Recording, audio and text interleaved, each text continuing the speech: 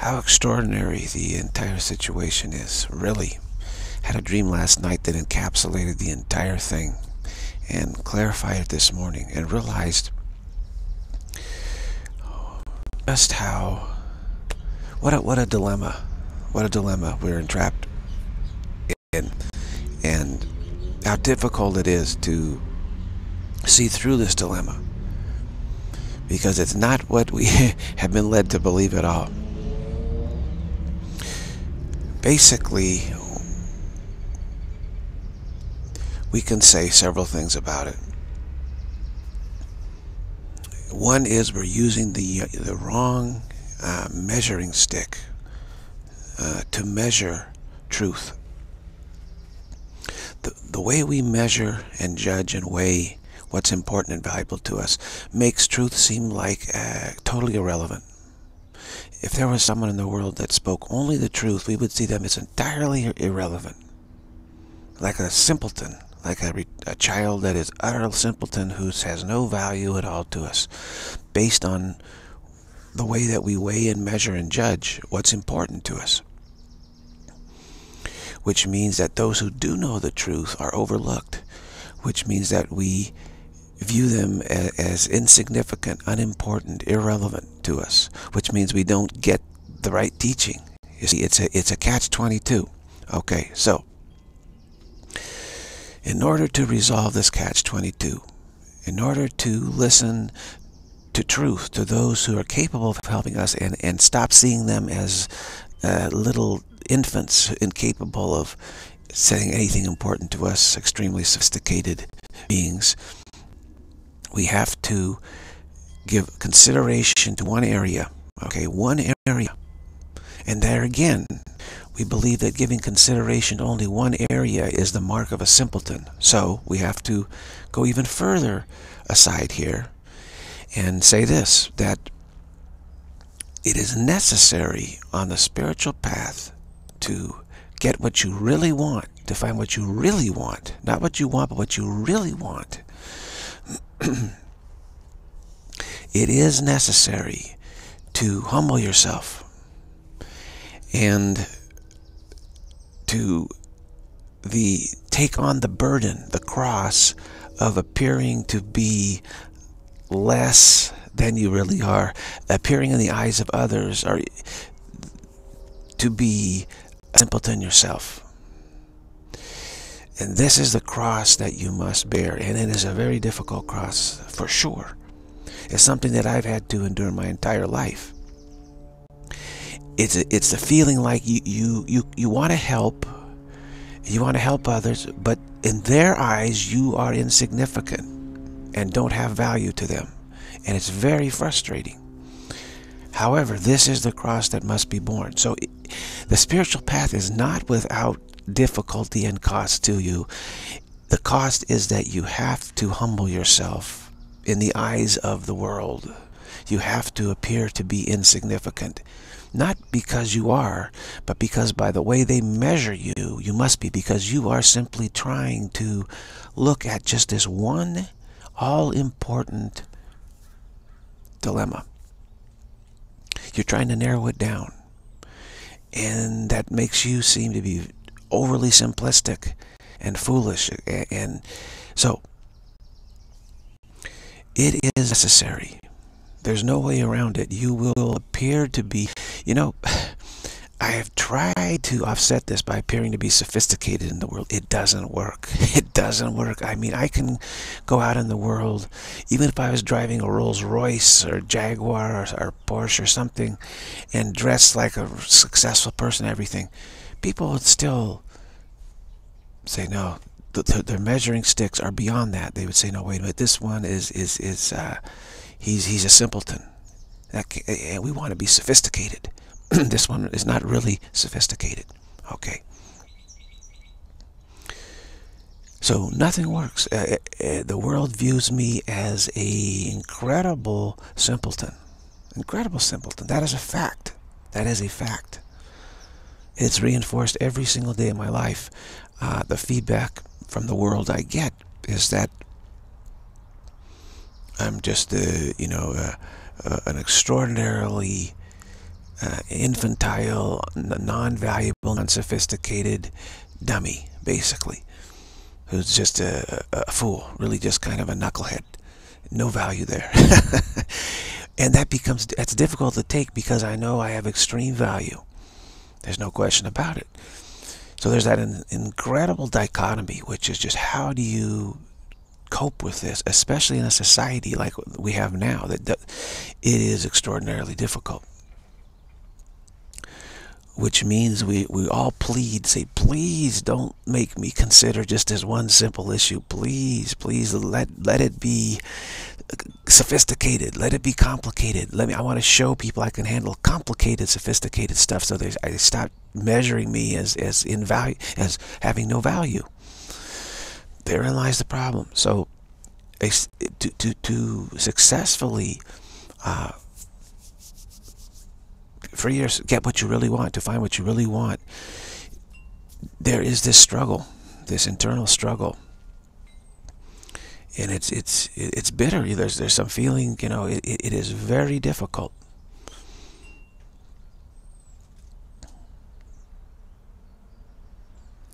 Truth is not difficult. And therein lies the trouble because this world values difficulty. And so when you're saying, well, it's simple, they say, oh, well, we don't want that. I mean, where's the sophistication? Where's the difficulty? Where's the complexity? Where's the time to where's to learn all this? If it's if it's if it's that important, it must be very complicated.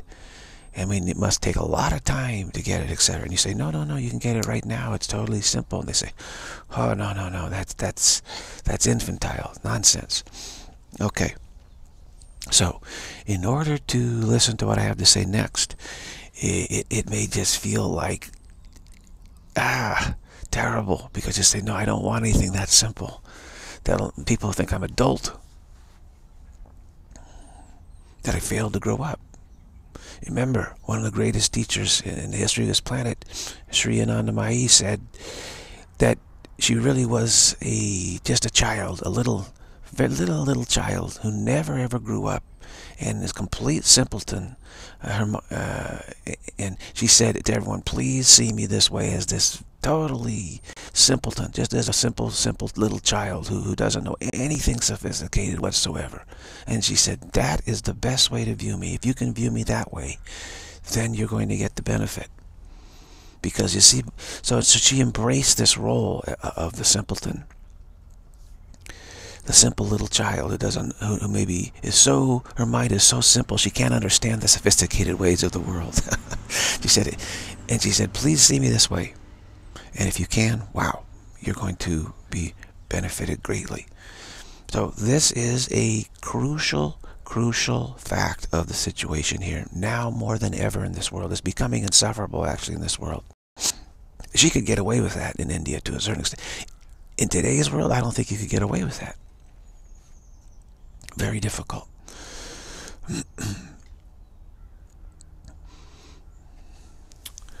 so to humble ourselves is the toughest task of all. Very few are able to do this. Very few. It, it, but it is possible. It is possible. So we can try. We can try. Now, I always say that if Jesus came back to this world, nobody would pay any attention. I say, and, and uh, to give this information out here, I say, Jesus, nobody's going to listen because it, it requires too, too much humility. It really requires too much humility. It's beyond the capacity. Uh, the problem is if you make the explanation too complex to, to so people don't feel too humbled by the simplicity of it, then it gets it gets too confusing. It's a catch-22. You see, if you try to accommodate people's lack of humility, the explanation becomes too too complicated and it doesn't add up. But if you give the real explanation, it it requires too much humility and they won't listen. Perfect catch 22. Perfect catch 22. So at least this you can appreciate, right? This doesn't take that much humility to appreciate that we have this perfect catch 22 at work here. And have a good laugh about that. It really is. It, it, we are in this catch-22 situation, a dilemma like that. Damned if we do, damned if we don't. If we take, if we listen to the, the truth as it is, we'll we feel, we feel we don't have that much humility because we don't want to be seen as a, as a complete simpleton. Whereas if we, so if we insist upon an explanation that we don't have to be so humble, it's too complicated, it, it, it gets unwieldy, and we go off on side trips. We miss it. We miss it. Wow. So the answer is humility. Therefore, to tell you to tell you the truth here, the right culture is a humble culture, a culture of humility. Okay, that is the right culture. Not as an end in itself, but as a means to an end. Okay, this is very important. So I, no one is advocating that a real simplistic, humble culture is an end in itself. That this is some paragon to be held up as, as, as the goal. No, it's a means to an end. Because from that humility, you will then be able to you won't feel something wrong with you to look at truth and see how simple it is and to look at this one problem that we have, this one issue. Actually, the, the one issue is the continuity issue, but what gives rise to the to the this continuity issue? Look at that one issue. We won't be judged. We won't feel that we're being judged as stupid or, or simple or, or rejected by society. The problem is if is in this world here, you get excluded, you get rejected, you get people don't want to associate with you if you're if you're a simpleton. They really don't. You're invisible to them. You become invisible. I become invisible to the world. And nobody likes that. It's a very uncomfortable feeling. Whereas in a a very humble culture, you don't become invisible to others when you are contemplating the, the, the simple truth. The truth is simple, very simple, very basic. And this problem we have is very basic. So, the present world situation, how is it on the scale of humility? It's off the charts uh, in terms of non-humble, non-humility. It's off the charts. It's off the charts, which means it is a very, very, the world, this present world is not a means, proper means to an end, to the proper end. It's not a me proper means to the proper end. It is severely lacking in humility. Severely. And getting worse constantly in, in a quantum manner actually exponential and then quantum manner lack of humility. The lack of humility was what's called the fourth dimension as our we're, we're shifting attitudinally into what's called the fourth dimension. The fourth dimension is a place of, of where we try to have maximum complexity and sophistication okay? And uh, extreme lack of humility. And this is actually a defense mechanism. It's a defense mechanism. Guaranteed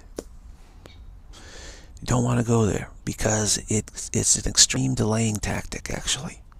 Extreme delaying tactic. What you want to go eh, to is, is a place of great humility and simplicity and humility of attitude where everyone bows to each other and says, you know, you and I, we have the same problem. And there's only one problem, okay?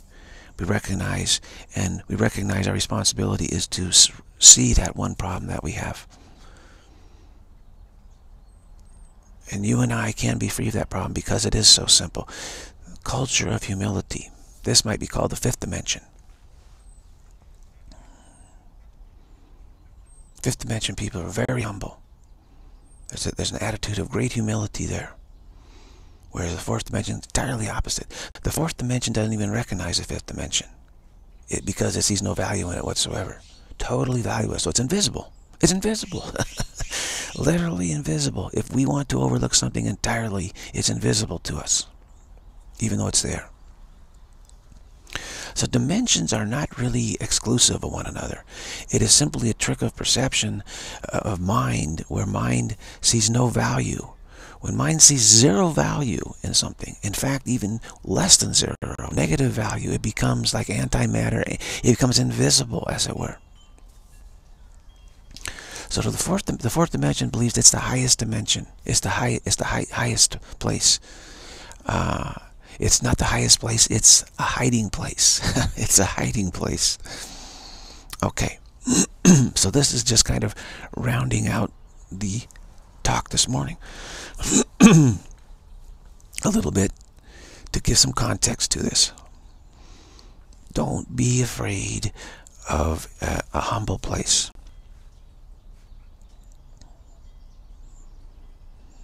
Not as an end in itself. Uh, sometimes humility is taken as a goal in itself and then it becomes artificial. Okay, no, then you don't have to pretend to be humble humility really is focusing on the simplicity of truth. That's humility. You you you know that's that's what it is. It's it's it's not how you act. It's it's where your attention is. That is true humility. Now, what is this problem that we're too frightened to look at because we think it's too simple and we don't want to be seen as simpletons?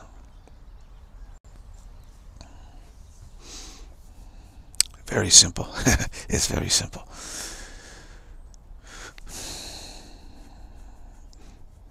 What if the prime creator gave up the idea of being prime creator? Gave up the idea of creation? What would happen? This is just a hypothetical. What would happen would be annihilation. There'd be nothing. Total annihilation. Okay. Obviously. Now, what if spirit arrogated to itself that it was prime creator. Okay? What if Spirit said, uh, I am now prime creator. Okay?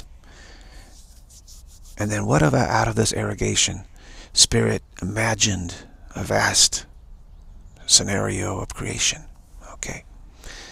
Now, Spirit would believe that it is prime creator and that this vast scenario imagination is creation, is all that there is. It wouldn't see reality. It would see what it's imagining and say, this is reality. This is all that there is. And so I'm prime creator. This is my creation. This is reality. Now, what if the prime, the real prime creator, uh, or what, what if reality spoke to spirit, say, hey, spirit, you're just you just arrogated to yourself that you're prime creator. You're not really prime creator. You need to you're unhappy and you're you're fear full of fear because of this. So you need to set this exchange this idea, this arrogation, this hypothetical for another hypothetical. To say, what if I wasn't prime creator? I'm arrogating to myself that I'm not prime creator. Okay? Hypothetical too. I'm I'm hypothetically saying what if I wasn't prime creator? So we spirit arrogates to itself, says, I am prime creator.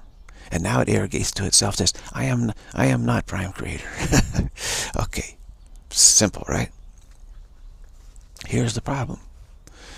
We know that if the prime creator set down the idea that it's prime creator, annihilation, there'll be nothing left, right? The real prime creator. Now, since we believe that we are the real prime creator, the notion of setting down the idea that we're prime creator. To us, we we take that as meaning that we would suffer total annihilation. Right? Obviously. This is the problem that we have. We take it that any advice to switch ideas, exchange ideas, to exchange hypotheticals really, would mean total annihilation. Okay. Therefore, we defend against this exchange of hypotheticals. setting down the, the hypothetical of, of arrogating to ourselves being prime creator. We defend against it. We defend against this desperately.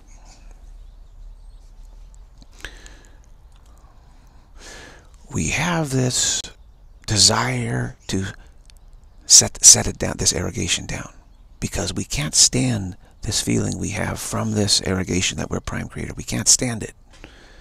And we have within us a, a knowingness of reality and how wonderful it is. We can't get rid of it. But we view this knowingness and this desire to set down this idea that we're prime creator, this, this arrogation, idea of arrogation that we're prime creator, we view that as extraordinarily dangerous because we believe it will result in annihilation, but we also cannot seem to get rid of it. So, we view this uh, desire to set it down as a desire for annihilation. So what, what have we done? What have we done to defend against this? What we have done is we have imagined and we cling to a way to try and feed this desire, which we we are taking mistakenly, but we are taking it as a desire for annihilation. So what we're trying to do is we're trying to feed this this monster that we, we think we're harboring within ourselves. We're harboring a monster, and that we feel this monster desires annihilation, and and, and we need to appease it. We feel we need to appease it. So what, what are we doing? We're feeding this monster death. Okay, we're feeding it to assuage its hunger pangs for annihilation. We say, look, we think, well, we don't annihilation. How do we come? We came up with an idea. We said, hey, let's limit. Let's bring the idea of loss, and let's limit the loss. Let's let's not have total annihilation. Let's have a gradual, partial annihilation. Not not annihilation, but a constant wearing away and dying and dissolving. But we said we but we said we have to keep this going to prevent this monster from from from uh, choosing annihilation. You see. So let's feed it death continuously. How do we do that? Well, we have to keep generating forms that die. So we have to have this dance of constructivity and destructivity so that we can keep feeding this something within us that seems to be demanding our annihilation feeding it death we have to keep feeding it death so we have this sacrificial universe this universe where everything it's a, an assembly line of sacrifice of death which we, in order for something to die, there has to be something constructed first, right? Which we then can feed to death. We can feed to this monster within us.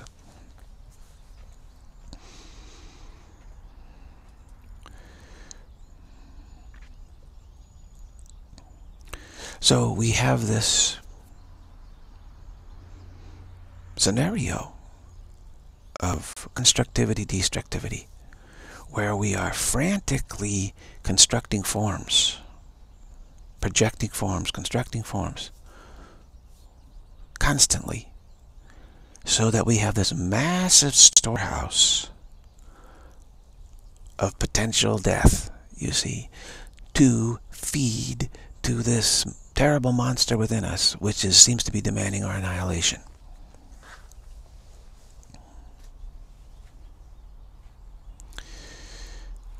And as we keep ourselves busy with this, we see we feel ourselves to be very sophisticated. And we what we value is the capacity to produce more and more and more and more potential forms of death. So that we have our granaries full, you see. So that we our storehouses are chock full eh, with ever more forms of eventual death that we can feed this monster within that seems to be demanding our annihilation. So that it can, we can say, okay, you, we're, we're giving you what you want. We're just giving it to you bit by bit by bit by bit by bit. So we're stringing it along, you see. And yet within us, we got this fear of saying, my gosh, we need more, more, more, more, more, more, more. More death. We need more death. We need to, you know. And then the idea comes to us that maybe we can knock out this monster's hunger pangs all at once. satisfy it somehow. This idea is always percolating in our consciousness because this, this we feel so inner and we feel this monster's there and it's still hungry. So of course this is what what the one perfect example of this is is the the contemporary configuration of the Christian narrative of that somehow feeding Jesus to the the the death of Jesus fed this monster within us and satisfied its demand for annihilation. Its hunger pangs have now disappeared. It's never, it's, it's, it's eternally satisfied. Like, ah, okay, I got the annihilation that I wanted. That's one configuration of it. But we also have other configurations of it. One of them is to bring about a huge global sacrifice of a massive amount to feed this monster huge quantities of death. You see, instead of feeding one, just one body that we think this satisfies, we'll feed, we feed, you know, a massive amount. In other words, we have a huge storehouse. But we, what our, what our plan is to, to develop a massive amount of surplus, okay, of forms of death potential forms of death. Huge storehouse, huge surplus. And then to feed this huge surplus to this monster within us who seems to be demanding our annihilation, to feed it to it all at once, you know, in a rapid feeling, a gorging, a gorging. we want to gorge it, you see. That's the that's the other uh, way. One of the one of the ideas we come up with, one of the notions. To gorge the monster within quantity instead of quality. So those are the two kind of ways. One way is we think, hey, if we just give like something that's so tasty to this monster within, so tasty, it'll say, ah, that hit the spot. That's called quality, qualitative. The other is let's just gorge it on, a, on huge amounts. That's quantitative, okay? So you see, you're not so simple to listen to this. It's kind of sophisticated, isn't it? There's there's a, there's a tinge of sophistication to this. So I'm making it that way for you. It's helpful. So the whole Jesus narrative is is we fed this monster something so tasty, some some super sushi, you know, that the monster says, ah, that's what I wanted. I'm no, I got my hunger pains, pains vanished, vanished entirely. That's what we're hoping, you see. But what we what we realize is, oh, oh, it didn't, it didn't vanish, and so then we go over to quanti quantitative. Okay, quantitative.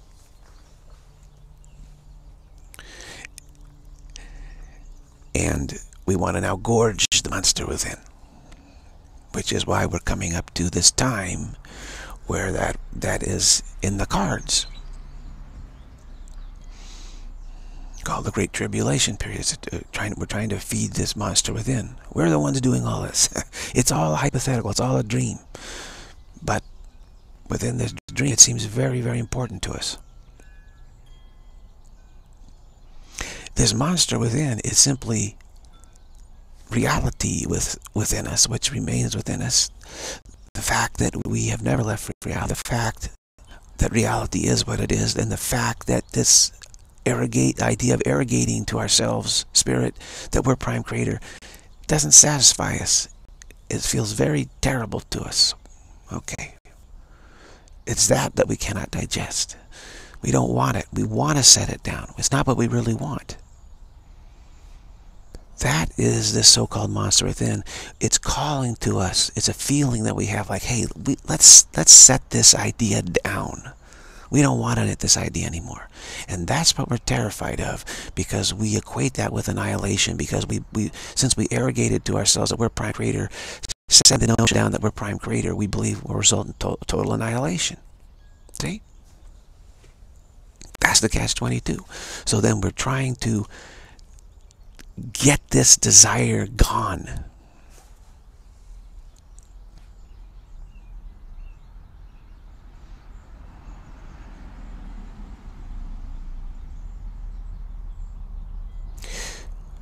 So in other words, feeding Jesus to this monster is we basically said, oh, you want reality? Okay, here's reality. We'll give reality to you. Now that should stop stop their hunger pains. But what we don't realize is that it's us that need to make to set this arrogation down. So we we're still stuck. You know, that was a nice symbolic gesture, but the desire we the desire to set the idea down is still within us. So that leads to quantitative feeding of this monster. All right, let's not get too caught up in this. It's, simple enough. We need to keep it that way. But this is really the situation. Now,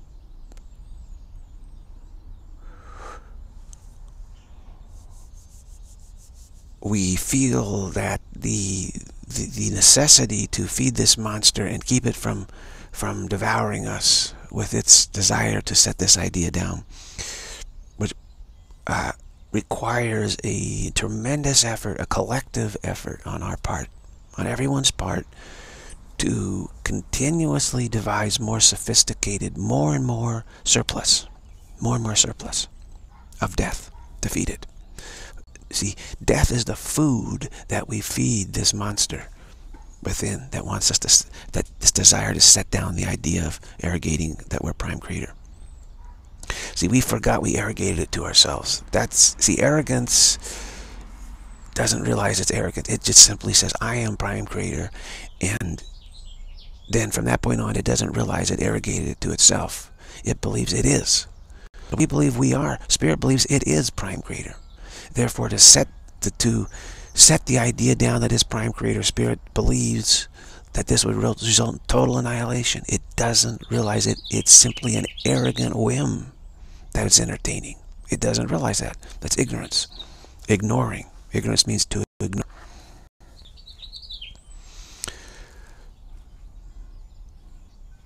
So before we do set this idea, we idea down, exchange hypotheticals, we have to see what it is we've done and see the defenses we've been utilizing and see all this rich context.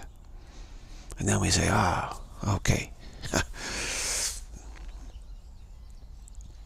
So we, Spirit is engaged frantically with an exclusive focus to to producing more and more and more and more surplus and more and more tasty surplus. See, not just quantities of death, but both quantity and quality.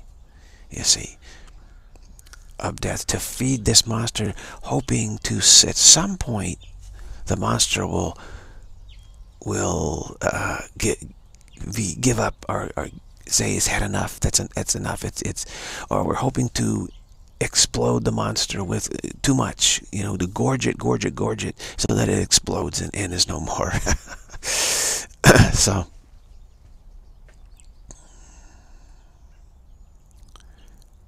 Or really, the poison pill. Maybe maybe people thought that Jesus was this poison pill, and it would kill the monster you see. That the blood of Jesus, devouring the death of Jesus, caused the monster to die. Couldn't digest it. It was so unpalatable that the death of reality was so unpalatable to this monster. It died, you know. That left us alone. That's the kind of magical stuff we that we engage in in our in our arrogance in in our ignorance.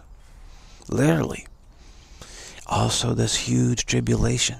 Again we bring all this stuff upon ourselves in an attempt to feed this monster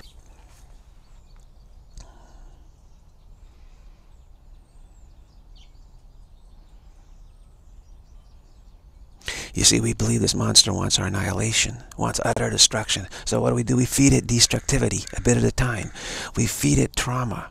We feed, we feed it sickness. We feed it all this stuff. We are imagining all this stuff to feed this monster to avoid annihilation. It's a fact that all this stuff, death is a defense against annihilation. But we are the ones who are generating all this sickness and death and trauma of all kinds. You see, everything is an agreement in this world. Everything that happens is a, an agreement that it happened in order to feed this monster within we to avoid annihilation. And yet we insist, oh no, no, no, no, no, no, this is all happening to us. That's another defense. Because if we realize that we're doing it to ourselves, we'd say, well, why are we doing it to ourselves? So we insist that all this stuff is happening to us. All the traumas, okay, all the sicknesses, all the deaths, all the destruction. We insist it's happening to us by some for we don't know what, uh, some bad, evil, wicked, terrible something is it's being forced upon us somehow. So we don't we refuse to realize that we're doing it to ourselves as a collaborative effort. It is a collaborative effort.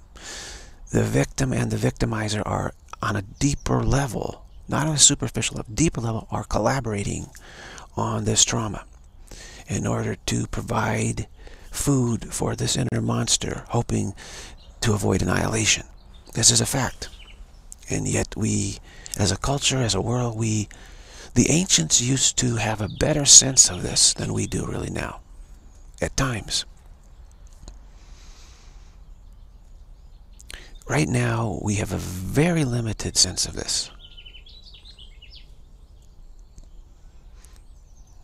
You see, we wonder that we we wonder why was it like a Course in Miracles that went out, which explains all this very clearly.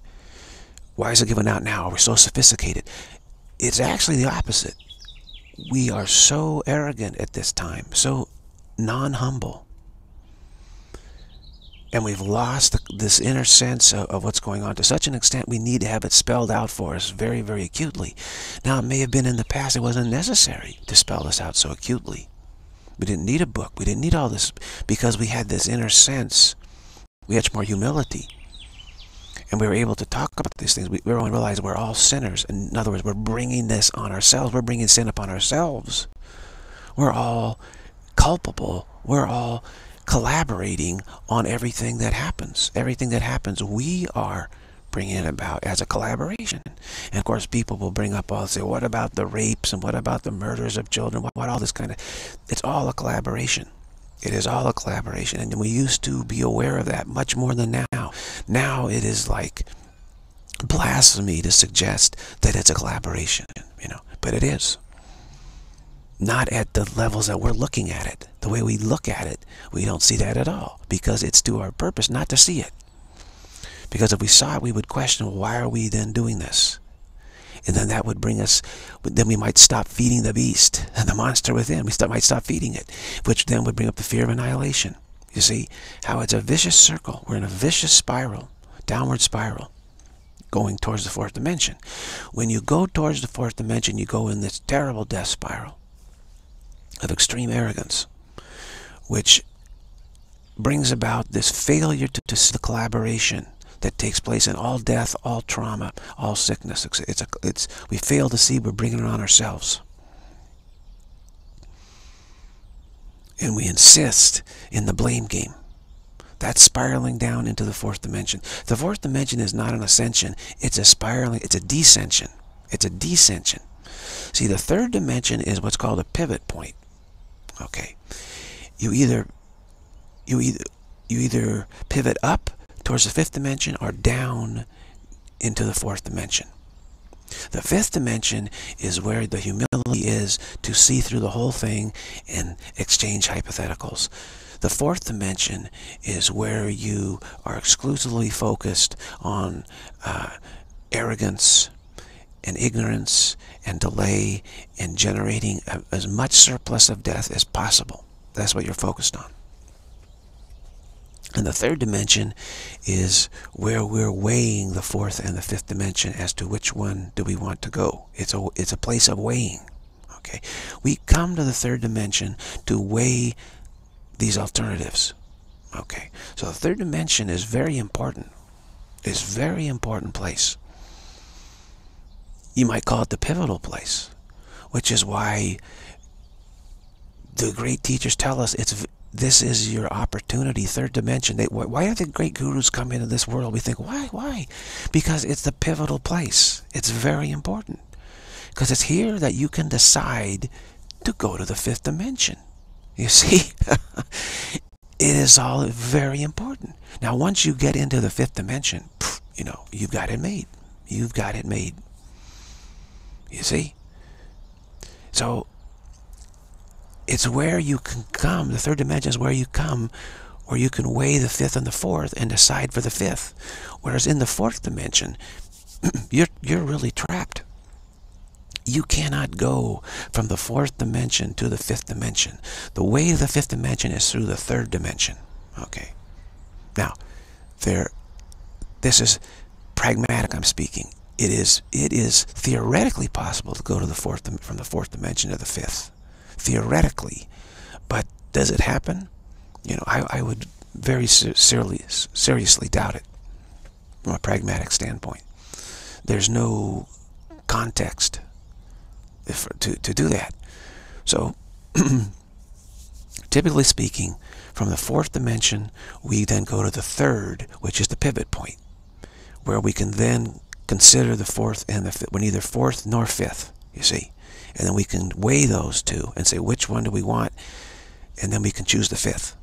Okay?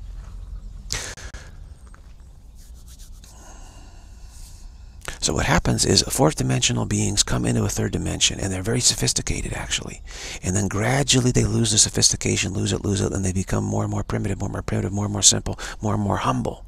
Third dimension humbles us. And then from that point, we become aware of the fifth dimension, our options, you see. So that's why we don't understand history. Because history is actually, in this planet, very sophisticated beings have come from the fourth dimension, have come to this planet, like uh, Sumeria. Okay, Sumeria was fourth dimensional. Beings came to this planet. Egypt. Okay. What happens is you get fourth dimensional beings come to this planet, and they're very sophisticated when they get here. And over time, they lose their sophistication here, and they become much more primitive and much more simple, simple and much more humble. And from that standpoint, then they begin to connect that they're capable of considering the simple truth of the situation. And then these, you know, these, these, uh, and then a savior comes to them, as it were, and speaks to them of the fifth dimension. Okay, and their option to go to the fifth dimension. And then religions are born out of that. And some people then decide fifth dimension is where we're going. That's real history. That is real history this whole notion of of rising up from apes and primates and all this kind of stuff, you know, that that was actually experiments by fourth dimensional beings that came to this planet in genetic experimentation of developing slaves for themselves.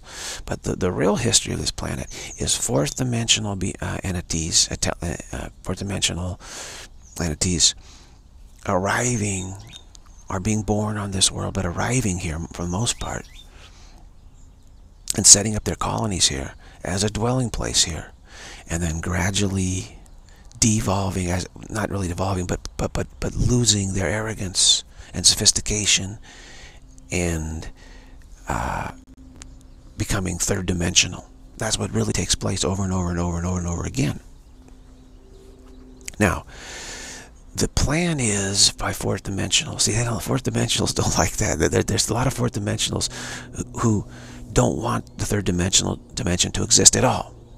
See, because that's an affront to their arrogance. So they want to get rid of the fourth dimensional, a third dimensional uh, situation on planet Earth. Their plan is to remodel this planet Earth into into fourth dimensional planet, and then so they can dwell here without the fear of losing their sophistication, their arrogance, really.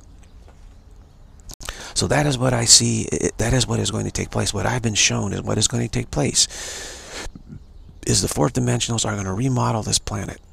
So it's no longer third dimension at all. And then they're going to come here and, and dwell in this place and terraform it into a fourth dimensional place. Now, the good news is that there are many, many other third dimensional planets where people can go, fourth dimensionals who need this third dimensional experience. so they can then choose the fifth dimension. Looks uh, fifth dimension. So all is not lost. But this planet here, from what I was shown, is going to be remodeled into a fourth dimensional planet. And so the opportunity to consider the fifth dimension is going to be lost here. Planet Earth will no longer serve that function. That's okay. There are plenty of other planets that can serve that function.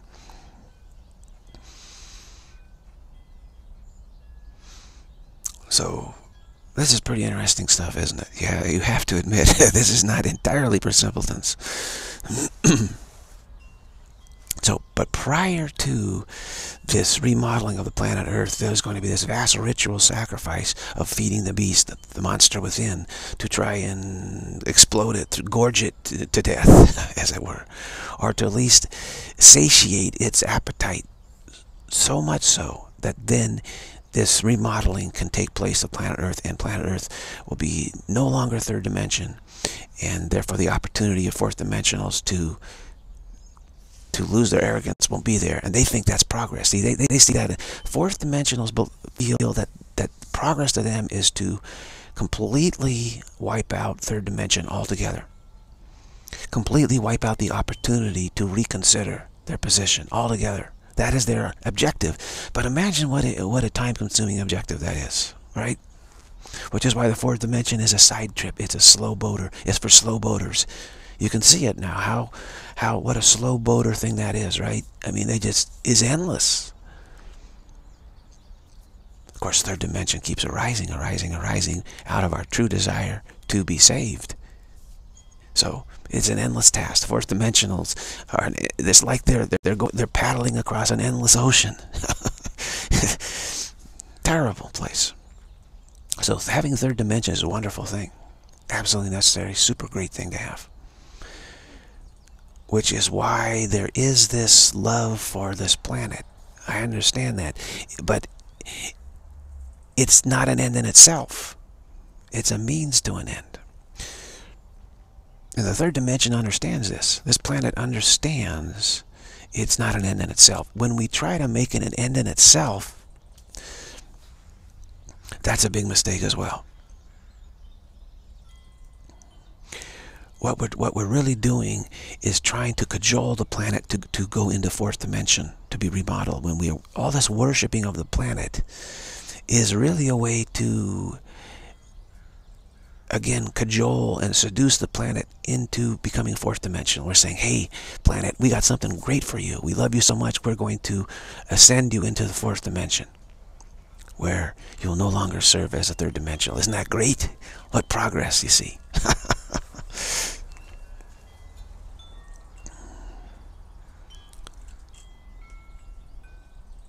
now, I have a lot of gratitude for the planet as hosting the third dimension. So I was able to consider truth, weigh the third, and weigh the fourth and the fifth dimension, and choose which one do I really want.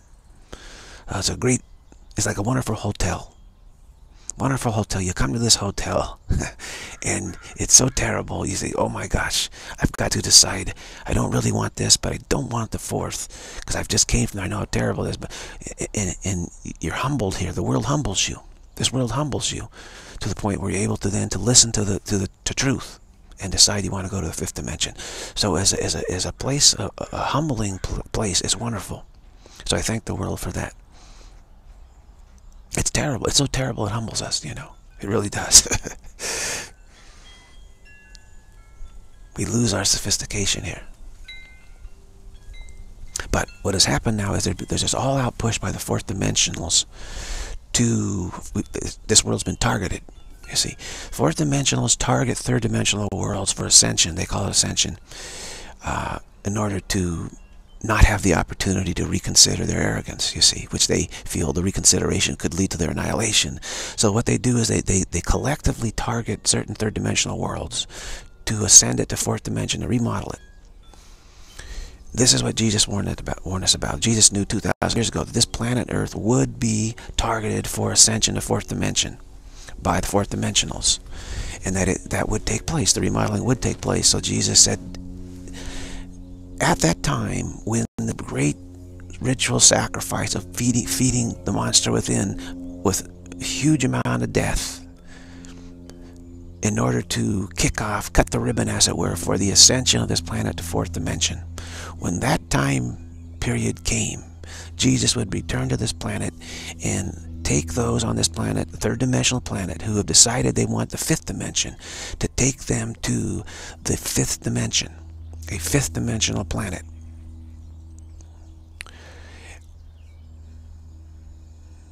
And as a corollary to that, those who want to remain and go to another third dimensional planet will probably be taken also to another third dimensional planet, you see.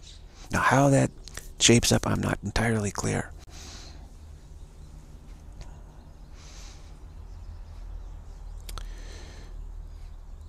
Because again, third dimensional planets are all important. As the pivotal dimension, right? The pivotal experience a humbling experience, a place of humility where we can go to be humble, where fourth dimensionals go to be humbled, which is a necessary precursor to them choosing the fifth dimension, where there's this great humility and capacity to focus in on the simple truth uh, without the fear of annihilation and uh, to exchange hypotheticals. Resolve the continuity issue, realize it's already been resolved, and then to realize we never left reality and we simply tried to arrogate to ourselves that we're prime creator, which was nothing but a whim. See, then fifth dimension, that gets, that gets clarified. So, what what I see myself as what is a situation of I was a fourth dimensional who came into this world and was humbled and listened to the fifth dimensional teaching and then recognized this is what I really want. But I also must have had some uh, ex prior experience with the fifth dimension. Somehow I was uh, set up to be helpful in this way here.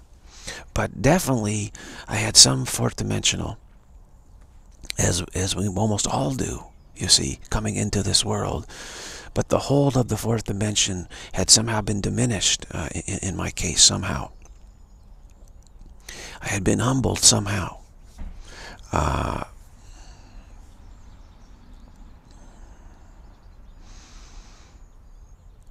and I had agreed, no, I, I, am going to go for the fifth dimension. So I was able to be a fast tracker here, able to be a fast tracker and be of help in this way.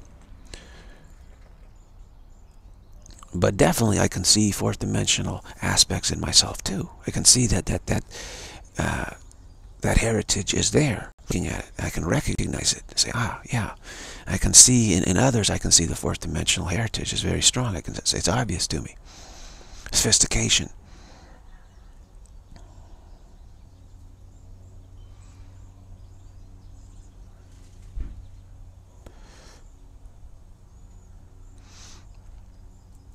So we are now at that time. We are now at the time of the return of, of Jesus to this planet and saying, okay, folks, we're going to sort it out. It's called the, the parting of the ways, the, the wheat from the chaff, the, the sheep from the goats. The goats are the ones going to the fourth dimension. The sheep are the ones going to the, going to the fifth dimension.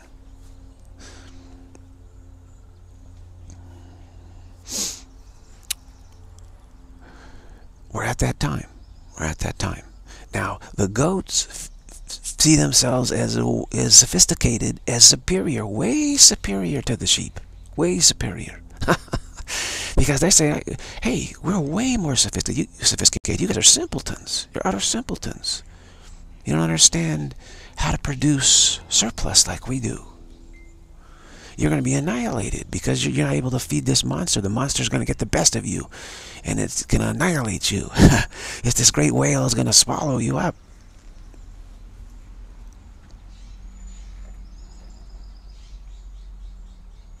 I used to have dreams of, of, of, fishing in this great ocean, and I I hooked this massive whale, and the massive, I reeling it in, and suddenly there's huge whales there, and it scared me to death. You know, I said, oh my God, what did I catch? Why can't I catch a little fish?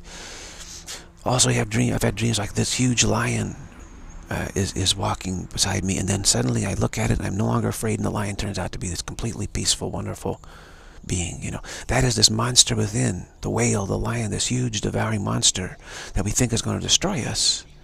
Turns out to be our greatest friend because it's simply the desire to exchange hypotheticals and, and based on the realization that we simply arrogated to ourselves the role of prime creator and we have no authority or power to actually make that real real at all. It's nothing but a fantasy, a hypothetical scenario. So this monster within that we think we need to feed death to, we don't. That's why I had the dream of this huge, massive lion that I thought for sure was going to devour me. But I, I, I kept my calm, and then suddenly the, the lion came up and, and you know licked my hand and and and showed that it was totally peaceful, and I didn't have the slightest desire to, to devour me. I was like, whew, wow, isn't that great? And it is, isn't it amazing that in this third dimension, that we have the capacity to realize all this. So I am like a, a, a bell cow, as it were, uh, to prove to the world that in the third dimension we do have this capacity. We can do it absolutely. We all keep thinking, oh, no, we need to be in the fourth dimension to, to discover anything important exact opposite. Fourth dimension, you won't discover anything important. It's in the third dimension where you discover what's really important, the fifth dimension, where you're able to make these re recognitions. That is why the great gurus say, wow, you have to realize you have the supreme opportunity here in the third dimension. You must take it, your life that way. Very important. This is the supreme opportunity. Don't waste it. Don't waste it. Or you could slip back into the fourth dimension. You don't want to do that.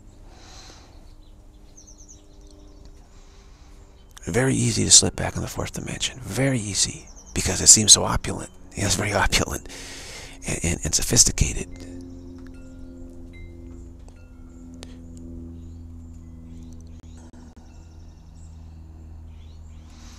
But it's also very wicked in terms of generating this massive surplus of death and then feeding this, you know, death to uh, what they believe to satiate the, the appetite of this monster, this terrible devouring uh, monster within that seems to want our annihilation. And it, the fourth dimension is extremely uh, uh dissatisfying.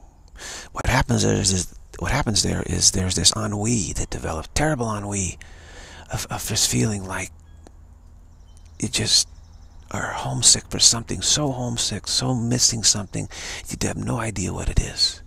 And that leads then to a birth in the third dimension, which then humbles humbles one to the point where they, they feel that sophistication isn't that important. And then they they feel they won't be judged as such a fool for, uh, for considering some simple stuff. In the, in the opulence and sophistication of the fourth dimension, there's no way in the world that you're going to uh, entertain these simple considerations because you you be deemed uh, uh, uh, you, you, need you need immediate genetic modification at that point. You know, you say, oh my gosh, the the, the DNA must be deteriorating. We have to you know boost their DNA. We have to give them frequency uh, frequency resonance treatments to have their DNA uh, reassemble. You know, the DNA must be disassembling, so we need to give frequency resonance treatments to reassemble their DNA so they don't be considering these simple notions that are a sign of, of degeneration. See, in the fourth dimension, these considerations of truth are seen as degeneration, that your DNA is degenerating, that you're degenerating. And they have all these therapeutic treatments to re make sure that your DNA does not degenerate. So these are all these frequency treatments, res uh, using resonance, etc. All these therapeutic modalities are used to keep you trapped in the fourth dimension. That's why you need to take birth in a third dimensional situation to humble to, to, to get free of that. I mean, where you, there's a world where it doesn't have the genetic uh, frequency uh, resonant uh, therapies and all these therapies doesn't have any of that. You see? Because that's what keeps you trapped in the fourth dimension. That's what keeps you vibrating, resonating in such a way that you, you, you keep trying to develop surplus of death. So when you go into a third dimension, you don't have any of this sophistication, no technology at all, no sophistication. then you, you say, hey, when these ideas come to you, uh, uh, uh, fifth dimension speaks to you, truth speaks to you, you say, oh, what's that? Huh, that's interesting. And you don't have this army, you don't have this nanny state identifying immediately like with these sophisticated Geiger counters, you know, resonance. There's these resonance uh, resonance uh, oscillators, like oscilloscopes, almost. You know, everything is modulated and and data is being mod, uh, monitored. That there's not these immediate biohazard things, bah, bah, bah, bah, bah, going off and saying there's someone over there that is starting to generate, and then this, you know, SWAT team, this this emergency medical response team EMR, you know, comes flying in like immediately with sirens wailing. Whole team comes in and they got to get this person immediately to, you know, uh, emergency room, operating immediately. They put you in these resonance chambers and and you're reconfigured back to this resonance that they want you to be at. That's what happens in the fourth dimension. It's a prison. It is a prison. Well, the third dimension, you come in, they don't have that. So you, start to consider this stuff. Nobody comes at all. You keep waiting for the the EMRs to show up. They don't. It's like, wow. I mean, that's the experience like I had. I keep I have these ideas. I keep thinking, where, where, where's where's the where's the EMRs? Like, you know, where's the resonance, re, resonance police? You know, how come I'm not being whisked away to these, you know, resonance chambers? Wow, amazing, amazing place, a third dimension. So with that comes this freedom to, to contemplate, say, hey, I can, uh, why do you think people would go out to the desert and hide in caves and way away from you know, sophistication in the ancient times like Sumeria and Egypt, which had all these resonance chambers, had all that stuff to try and make sure that your frequencies remain fourth dimensional, etc. Like the pyramids, all these, they had all this sophistication, but it gradually degenerated and was lost. And the, the people would go off, way off and hide somewhere in the desert and caves so they could contemplate the fifth dimensional uh, uh, ideas, the, the, the ideas of reality, truth that come from within us without being uh, arrested or, or, helped, as it were, quote unquote, helped. They want to, fourth dimension wants to help us to, in, or, in order to hurt us, really. They insist that they're, do, they're righteous do-gooders to help us. They're not helping us at all.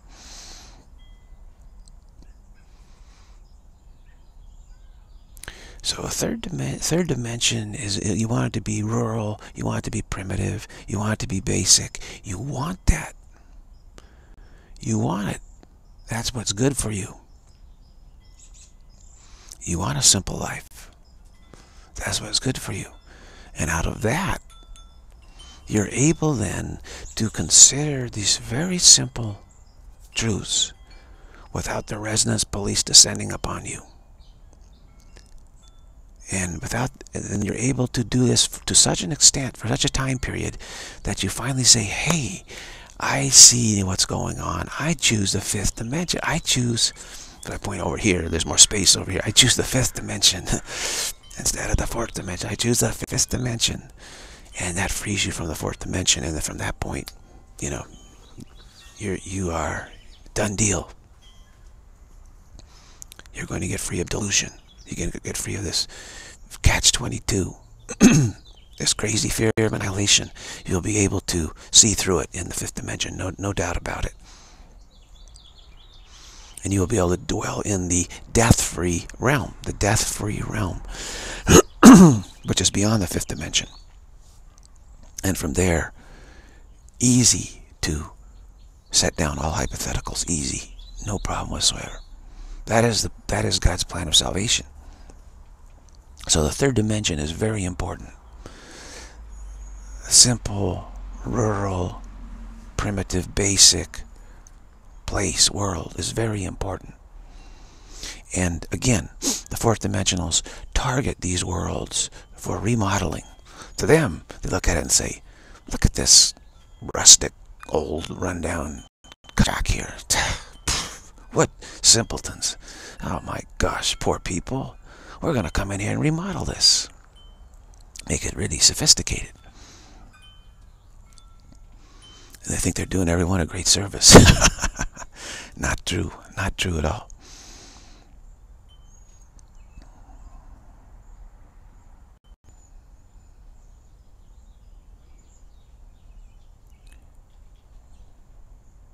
But they do collectively. See, the fourth dimension as a collective. It's a confederacy. It extends in many planets, many I mean many many planets, many places. Vast. It's like a vast corporation. Like we have a global corporations. It's like a vast global corporation, but it extends to many many places and planets, big areas in the fourth dimension. Uh, and they collectively decide which third dimensional planets to remodel, to target and remodel. So this planet Earth has, was targeted long ago, thousands of years ago, to be remodeled. And all the blueprints were have been, you know, first, just like remodeling here, you, you have the permits, you get the art, first the, the plan, the per, plan, the architectural plan is submitted, you get the permits to do it, and then you bring in, first it has to be graded, you, you grade the lot, okay, you regrade the lot. Like if you want to put a, a house on, it's a hilly area, you want to, uh, you want to build a house without a hill, you, you come in and you take the, the, the hilliness, the unevenness out, you grade it flat okay, flat lot. The surveyors come in, you know, you, you, you have the blueprints, you have the permits, you have the surveyors, then you have the graders, and then you come in and then you, you have the people uh, set up the foundation. Trench the foundation, put in the rebar, pour the concrete, pour the slab, and then you have the slab, you have the foundation there. Then you put in the sills for the to bolt it to the the framing to the foundation. And then you do the framing and then you you know from there you do everything that builds a house sophisticated house. So there's all these steps in this. The the next step what's happened already is is a decision to target earth to remodel this third dimensional planet. Next came the blueprints and that took a lot of time. There's been a lot of work on the blueprints, very sophisticated blueprints. Exactly how does the fourth dimensionals, how they want to remodel the planet, and what kind of terraforming and civilization do they want on this planet. That's all been worked out already. Those are the blueprints. The next phase is the surveying. that has been what's taken place the last 50 years is the surveying of this planet on the ground saying okay we're, we're going to do this this this this and set it all up how's it how's it going to work. work. The next step is the grading of this planet. Okay, that's been told us in prophecy. that is that we're told that this planet, all the high places and the low places are, are going to be gone, and it's going to be like flat. It's going to be flattened. The whole planet's flattened. That's called the grading process in, into fourth dimensional. I was shown this the planet after it's graded, and, and it was like a cue ball. It was all like a cue ball, as it were, very, very flat, even. You could see it was is is is is uh, uh, engineered. This is engineering, you know, purposefully engineering it to be this very, very smooth, flat, very smooth and everything was like pulverized. The the the the, the soil was like very fine uniform gradation of the soil too. So that, that's the grading. And then I was shown that then all these fourth dimensionals arrived on this planet that had been graded in transport ships. I saw it. They arrived here. Uh, and some seemed to come out from under the earth too. And they all mingled together and then they, they started building uh, habitat. And then what happened? Also, these huge transport ships arrived on the on the planet with massive amounts of, of plants here that they had been growing uh, in these huge motherships, transport ships, and they it was like a vast, the world was like a vast nursery. All these big nurseries were set up all over the planet. And then they began terraforming the planet and planting everything in in all the waterways. They had all these waterways that were very engineered in certain ways. It was like like a vast Disneyland, a vast resort. The whole planet was turned into this resort, as it were. But in everything was on sophisticated irrigation and and and the vibration. There, the music was being played in various places for the plants, for the all these frequencies of music based on the the plants, what they liked. And I saw after it had been terraformed, I was shown the planet what it looked like and uh, it was very lush and, and very beautiful. I mean, flowers blooming everywhere, and it seemed like a paradise. It seemed that way, okay. like a resort type of thing. But also, everything was being engineered according to blueprints of how it had to be. Okay. And of course, there's surpluses of everything, so much surplus. And everything was rigidly controlled. What you did, you had to have everything had to be very precise. Super scientific, super engineered and, and, and planned out all streets were planned out just the way all living quarters, all everything people did. Excuse me.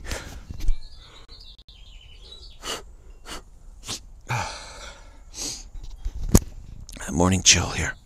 Uh, so I looked at it. I saw what they had done with the fourth dimensional situations, like a Babylon. Okay. Everything fertile was fertilized, and, and all the plants were monitored all the plants were monitored.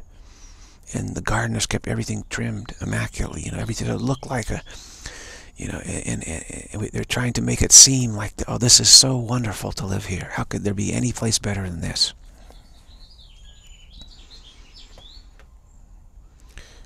But of course, there was this underlying tension that I noticed. That is like feeling like we got to keep it all perfect. We got to make this perfect. We got to have everything monitored. We can't mess up the, here. You know, there's this tension, underlying tension that I noticed. Everybody feels like we have to be happy. We've got to be happy. We have to be happy with this. We have to, like a, like I said, like a resort, like a Disneyland, where the happiest place on earth is. I feel we all have to smile. We all have to be happy. We all have to make sure that everything is exactly the way we want it here like a Singapore, you know, for instance. I mean, Singapore is like a, like a precursor to the fourth dimension, okay? Well, there can't be any graffiti, there can't be any gum on the sidewalk. Everything has to be sanitized, you know. Everything has to be just exactly the way we want it. And, and everyone has to look out to make sure everybody else is happy and keeping it that way. There's this underlying weird feeling. That's what I noticed.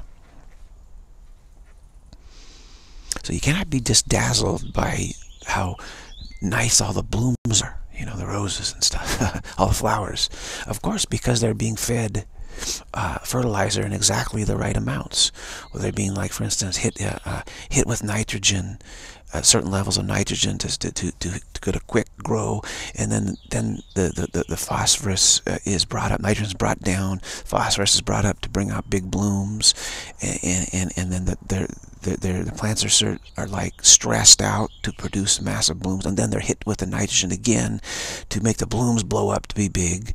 And so everything is is carefully calculated okay in this fourth dimension.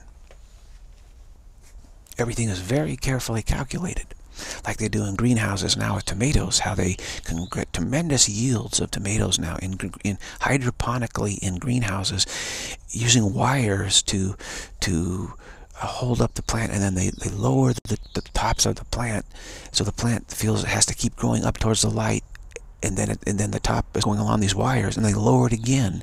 So they can get these plants that I, someone told me like 50 foot tomato plants that are that are excessively lowered like this de developing tremendous yields lower down so it's easy to pick them you see. So again the goal is to be able to develop massive yields of superabundance okay so you have these um, like flowers tomato plants are a good analogy of huge yields of these gorgeous large tomatoes.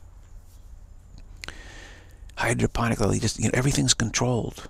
Everything's controlled so, so well. We have massive yields. Okay, why are we trying, why is the fourth dimension trying to produce massive yields? What, massive surplus. Okay, to feed this monster. They feel that they can stay ahead of the curve where this monster is continuously gorged. Monster is continually gorged with impermanence, with all these beautiful forms of impermanence. They say, look how beautiful these... Go into our, our, our grocery stores now and you look at all this wonderful fruit, incredible. It all looks perfect. The form is perfect, isn't it? But you bite, you bite in these tomatoes, there's no taste. They pick everything, everything is, is shaped beautifully, and it's large, and, and it's shaped right. The peaches, you go and get these peaches, oh, they look so wonderful. You bite into them, they taste like rubber or plastic. There's no taste. That's fourth dimensional. Of course, in the fourth dimension, they've worked out that problem so they're able to get taste plus form. You know, it's like seems like it's all there. See, there's this big movement towards heirloom stuff, like heirloom tomatoes, where where the tomatoes actually have taste. I, I tasted one recently of someone who grew heirloom tomatoes, and the taste was incredible. I said, "What? My God, this is better than any tomato I've ever tasted," because it, it's it's it hasn't had the taste bred out of it for the form. So people are on this planet are saying, oh, wait a minute, the fourth dimension, wow, I'm not really sure this is so great, you know. So what's happening on this planet now is what you're seeing is the fourth dimensionals, the survey team is here getting preparing the planet to be graded, to be remodeled into a fourth dimension, which from my from what I've shown been shown that is going to take place. The third dimensionals on this planet don't want that to happen. They want, they like their third dimension. They see value in it. They want to stay third dimensional. Okay? So those are the people that are, that are kind of the back to nature people, like farmers market. Let's keep third dimension. So there's a tremendous antagonism between those who want to keep the planet third dimension and those who want to turn it into fourth dimension here on this planet. For instance, Monsanto would be fourth dimension, okay? Very simple. Let's let's get it down to something we can all understand. Monsanto is example of fourth dimensionals coming to this planet, setting up shop here, and getting it, moving it towards fourth dimension, as it were. Let's grow massive surplus of soy and corn and wheat by developing a chemical which we can spray on the crops.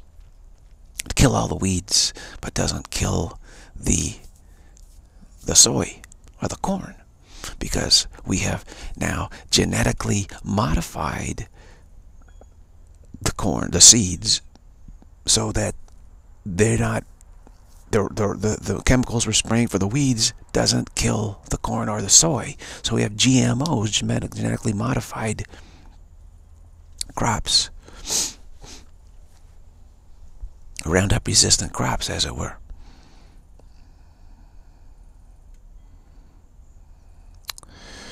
That's fourth dimension. Okay, what do you do? You produce massive surplus feed more people. The Green Revolution was all fourth dimension. We have 7 billion people on this planet. That's all the work of fourth dimension. Third dimensionals could never populate the planet to that extent. Never. I don't know how many people, probably under a billion. If, if, if a third dimensional planet has probably under under a billion people on the planet. When fourth dimensionals arrive on a third dimensional planet, they put the planet on steroids, essentially. And they boost up the planet population, incredible surplus. We have 7 billion people on the planet. The Green Revolution was using petrochemicals and, and herbicides and pesticides to be able to produce massive surpluses, plus heavy equipment, massive surplus and irrigation stuff, massive surpluses of food, massive surpluses of food, in order to then produce massive surpluses of people. All right. Again, what is the motivation? To have this incredible storehouse of forms of death, death forms. To feed this monster sacrificed to this monster within that we feel is fourth dimensionals are terrified is, is trying to plot their annihilation. so, okay, so obviously this is not a third dimensional planet. Uh, as far as the demographics are concerned, as far as 7 billion people, no, obviously. This is a fourth. This is a planet under the influence on, that has been targeted by fourth dimensionals. Obvious. Planets who are not have not been targeted. Third dimensional planets that have not been targeted by fourth dimensionals have low populations. They don't have seven billion people on them. They don't have all this petrochemical industry, pesticide industry. They don't have uh, herbicide industries, all this kind of stuff. They, they do everything naturally um, try to plant the right crops here to ward off, you know, the insects, and it's all organic, as it were. So you have this huge movement on this planet back in in the 60s, hippies back to the earth, let's go organic. Those people are called third dimensionals. So their destiny, they, they, they, they will be to go to another third dimensional planet when this remodeling of the fourth dimensionals takes place on this planet, they'll go to a third dimensional planet.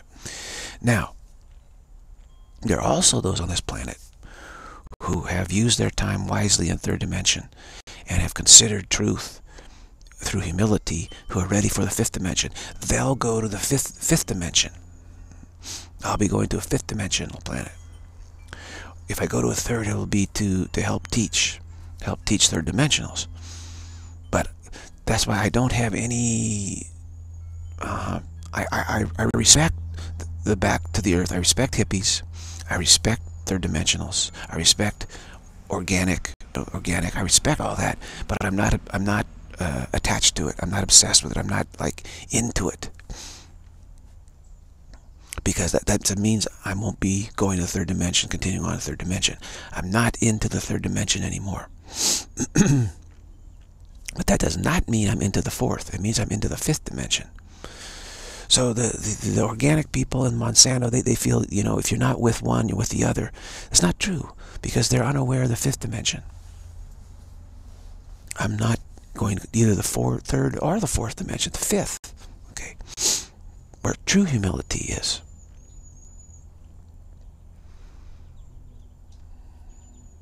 Where you, you are not even trying to, you're not even worried about surplus or survival, any of that stuff. You're, you're preparing for the death-free realms, which I've already prepared for. I've already prepared for the death-free realms. So it's likely I'll be a teacher in the fifth dimension to then show, sh explain how, how to make us, you know, how we go, what the, the death-free realms are all about, to show that option and explain it. And that's what people in the fifth dimension they pay attention to going to the death-free realms.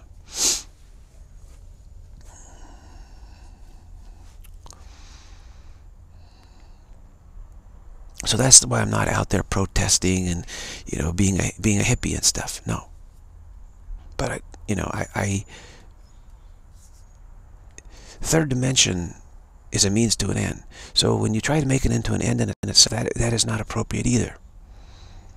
However, those who are going to third dimension do need to know how to survive there, you know, with or organic farming and all the like and simple life. That that is necessary. So I leave them alone. You know, let let the third dimensionals do what they do when the Soviet Union collapsed, uh, of course, Cuba was their satellite, and Cubans had, got, had gotten all the sophisticated technology of the, of, of the Soviets, fourth dimensional type of situation. They had all the heavy equipment, they had all the herbicides, all the pesticides, they had everything, uh, you know, and the, and, and the agro petrochemicals and everything. when the Soviet Union collapsed, all of that supply line stopped they didn't get spare parts for any of the machinery. They didn't get the, the fuel. They didn't get the petrochemicals and herbicides and pesticides. And they didn't get the seed. They didn't get anything. They were literally cut off from that. And so in, in order to survive and not starve to death, the people had to make go back to third dimensional, boom, crash course in third dimensional. So actually, in Cuba right now, the people are very, very sophisticated organic farmers. They had to learn how to produce food without petro herbicides and pesticides. Yeah, there weren't any. They didn't have any. they didn't have anything.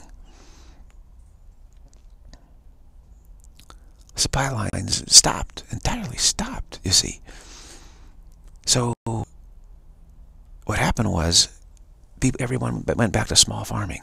They didn't have the big farms because they didn't have the gasoline, the, fuel, the diesel fuel to run these huge equipment for large farms, you know, harvesting these big farms.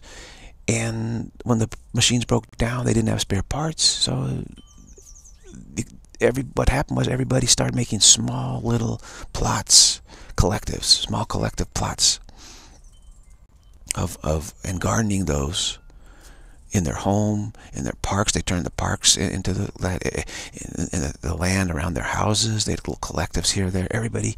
So you have this massive amount of small agriculture everywhere. And then everyone had to figure out how to rotate crops correctly, how to recycle and compost everything, how to introduce the right bugs to take care of other bugs, the right crops that would, would scare away various bugs, etc. And so they become very sophisticated, very sophisticated organic farmers there to survive. So that's third dimensional.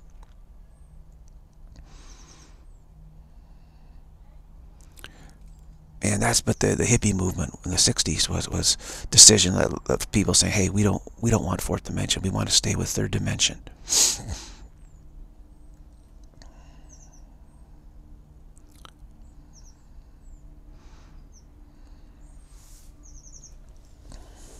But it, it, for me, I don't have attachment to all that stuff. I really don't. Which means I'm, I'm not going to stay with the third dimension, and I'm certainly not going to the fourth dimension. So it's the fifth.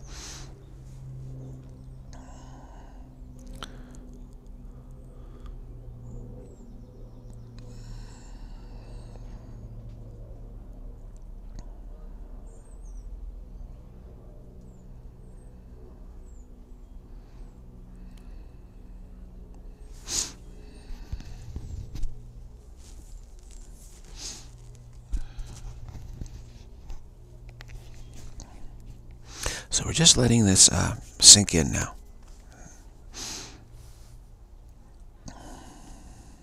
Where do we go from here, you see?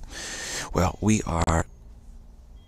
There's, there's the hope on this planet from the third dimensionals that they'll be able to defeat the fourth dimensionals. Now, I understand that hope. Third dimension is very important. More important than the fourth, that's for sure.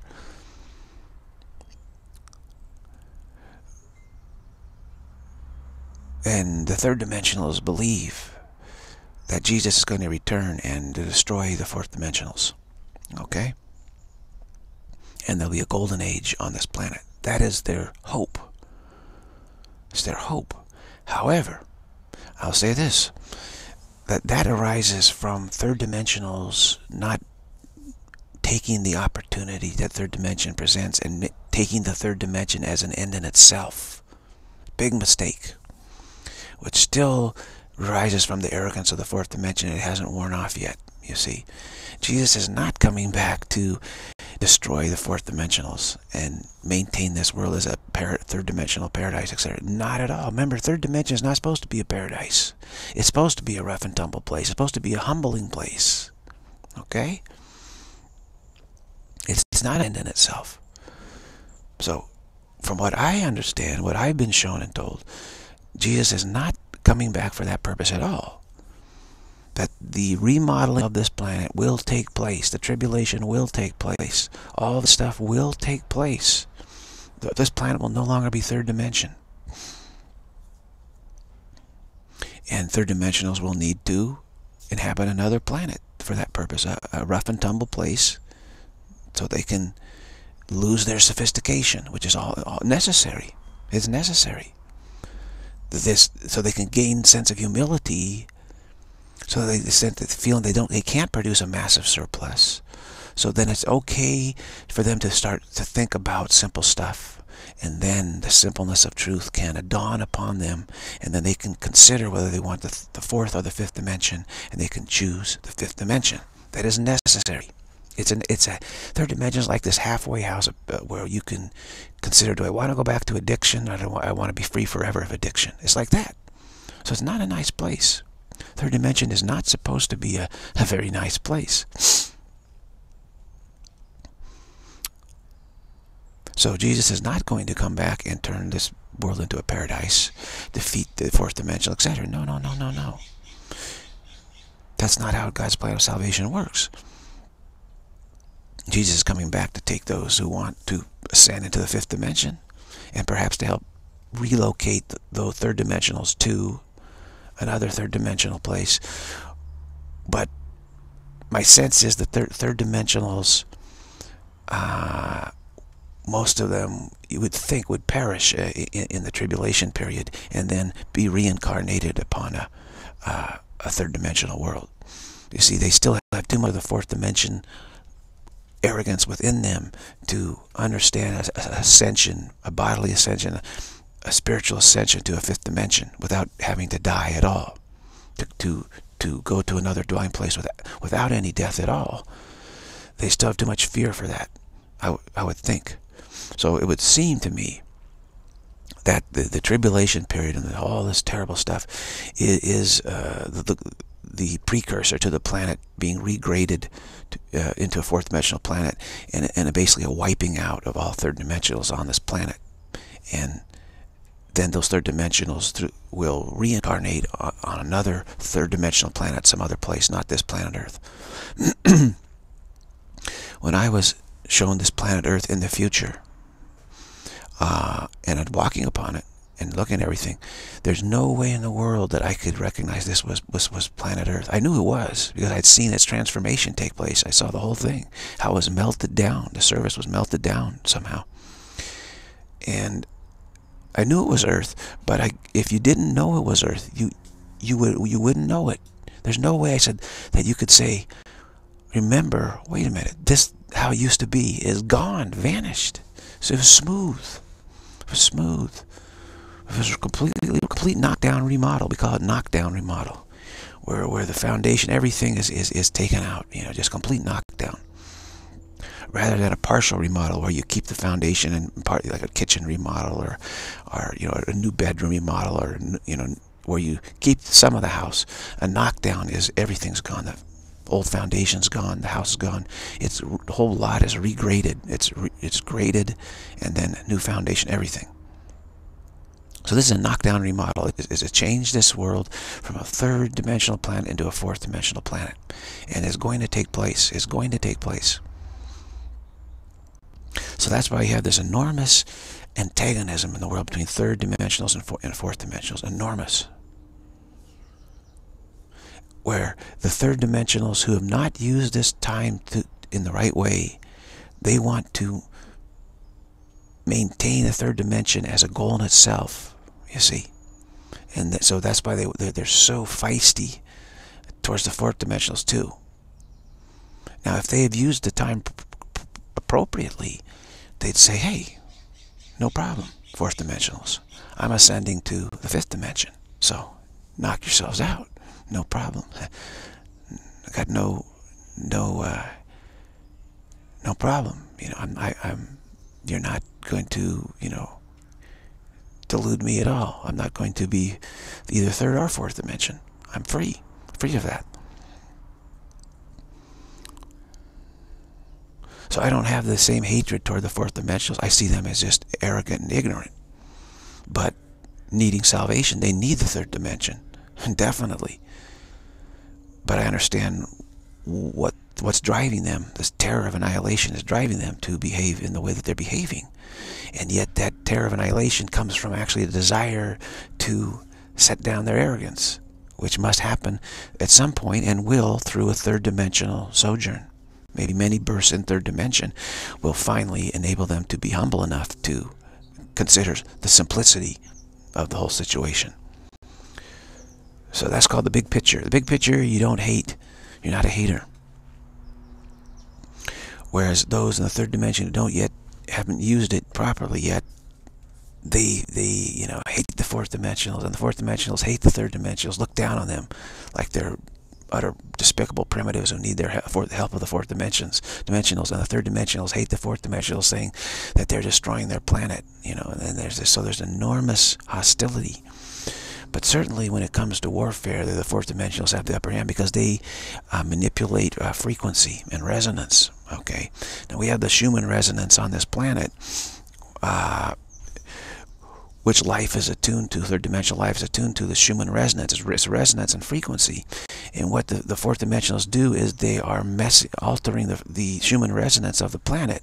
We have this, these uh, magnetic sensors within us which help orient us to, to, to, direction. And we have a basic sense of orientation. We, we, we're able to read magnetic fields.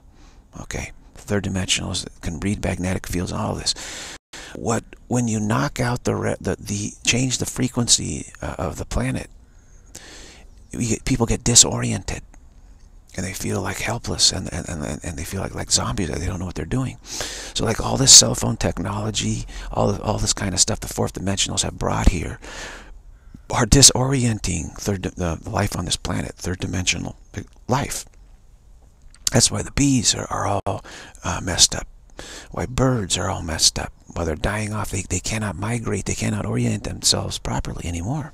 A lot of them. Humans, the same situation. The sicknesses, the illnesses, the disorientation, the feeling like we just like feel lost. It's because the frequencies are being tampered with here on the planet. That's being done by fourth dimensionals. So they know what they're doing, you see. So what they do is they, by, by changing the, the, the resonance of the of the of the planet.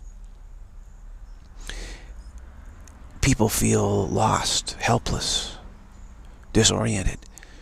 You see, they're dimensionals, and they're easily then manipulated into global conflicts, wiping each, wiping themselves out, destroying civilization, and all this kind of stuff. Very nasty. The fourth dimensionals don't play fair at all, according to, you know, to the standards of third dimensionals. They don't play fair at all. Believe me they they manipulate frequencies and use resonance and symbols and things like that to disturb life on this planet to such an extent that life on this planet goes berserk and collapses itself as it were.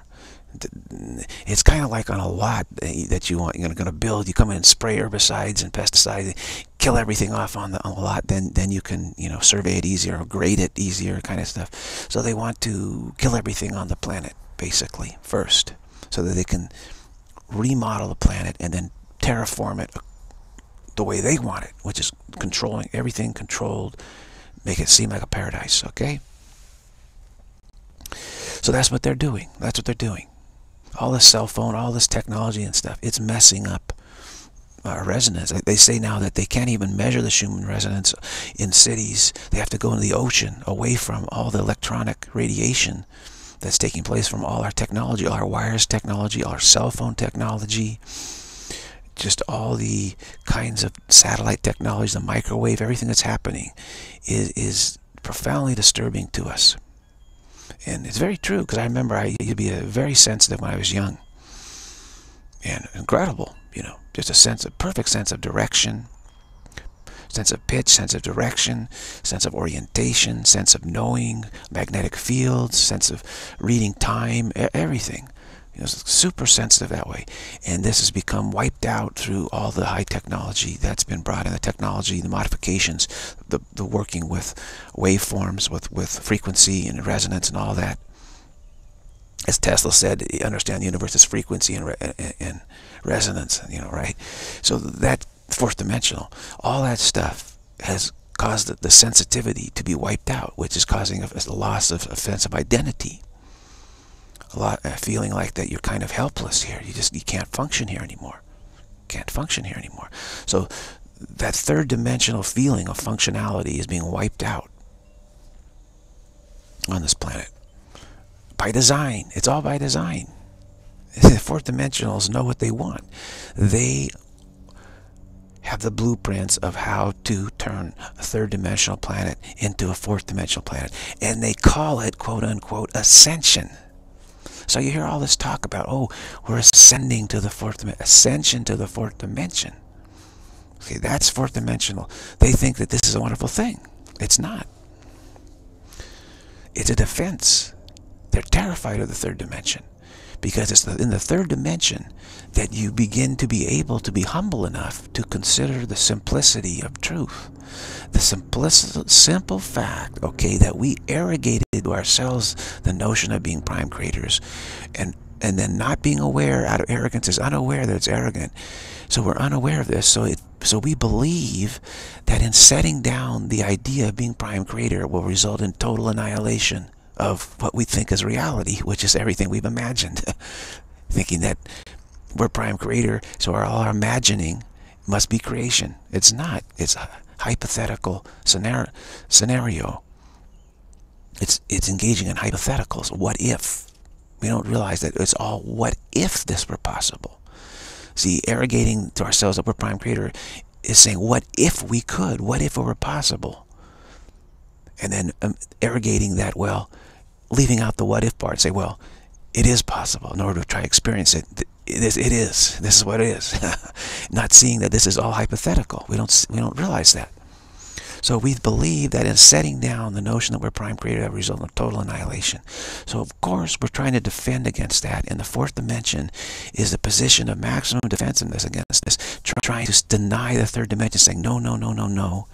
We want to keep constant sophistication of truth must be super sophisticated and we have to have this constant surplus of death forms producing all these forms of death so we can feed it to this desire for annihilation we think there's within to placate it so it so it, this desire doesn't we don't entertain it we start thinking about huh like wait a minute maybe I don't need this idea of being prime creator uh oh you know in other words that's the monster we feel the monster is devouring us it's going to destroy us we're, we're, fourth dimensions are terrified of this. So they want to annihilate the third dimension.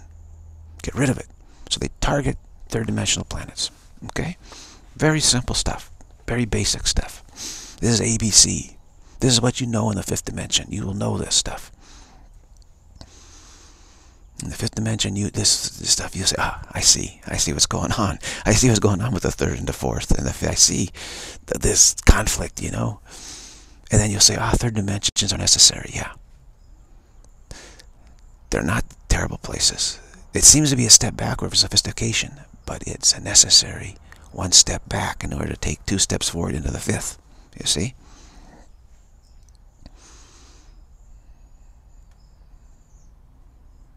So the gurus, the great gurus show up in the third dimension. They don't show up in the fourth dimension. See, I've asked fourth dimensionals I've had conversations with with them for sure. For my purpose to say, I said, hey, can you tell me all the great saviors on this planet that have come here and who are your saints? And they, they say, what are you talking about? We have no idea what you're talking about. They throw this, oh, we're all one kind of nonsense up, meaning we're a collective hive mind that we all work together to, to produce surplus, death surplus. And so they're unaware of, of that. They don't have saints and saviors in the fourth dimension. They don't. I said, who are your saints and who are your saviors in the fourth dimension? Say, we don't have any. I say, well, do you know about planet Earth? And they say, uh, no, we, we don't believe in that stuff. but it is in the third dimension that the great saviors come. The Krishnas, the Buddhas, the Mohammeds, the, uh, the, the Jesuses, the mm, Ramana Maharshis, the Anandamayi Mas, etc., etc. Whoever you want, whoever you, you know, your cup of tea is. There are many, many saviors, many sages have come here. The sages, the saviors, come to the third dimension. That's why you have Anandamayi Ma coming to the third dimension. Are you kidding me? You know, it's incredible. I said, what in the world? I said, how could... Uh, first time I saw her, I said, how could you come here to this world? Is how it's like this place is like so on. So, guys, incredible. incredible. You don't get that in the fourth dimension, that is for sure. Because it requires this great humility, great humility to listen to what's being said from such a sage, such a savior.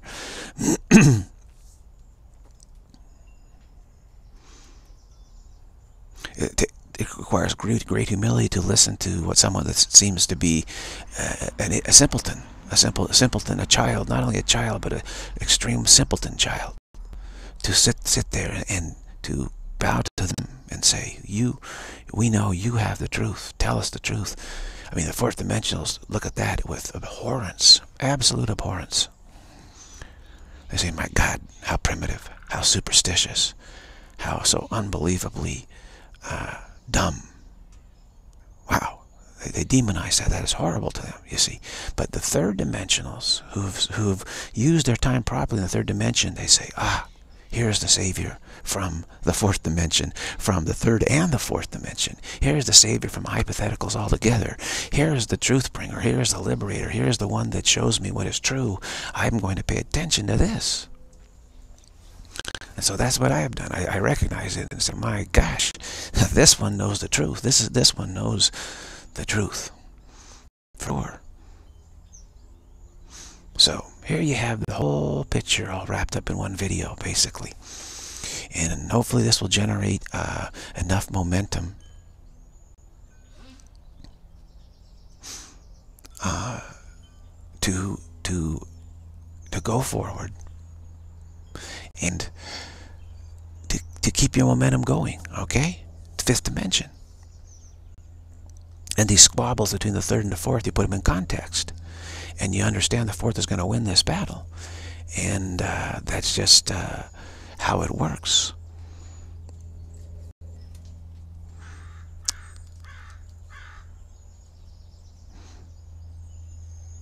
See, you cannot interfere in this dynamic, otherwise you make things worse. You cannot, you have to allow this chess game between the third and the fourth to keep playing out. There's no alternative to it. You can't set up permanent third-dimensional planets. You cannot do that. You cannot. It's not possible. If that were so, then the third dimension would feel like a prison. Absolutely. So third-dimensional planets have to be temporary. Have to. So there is this chess game between the fourth and third, and that just keeps playing out throughout the cosmos. So, of course, there are other third-dimensional planets, and people need to shift there for their third dimensional experience.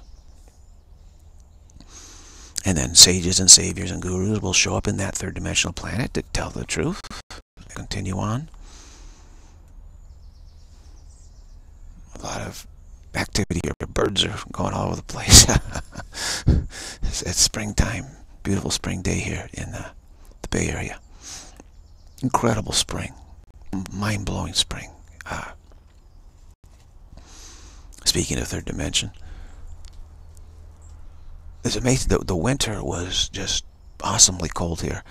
Virtually every single day this winter was freezing in the morning. It was incredible. And now the spring is like every single day is beautiful.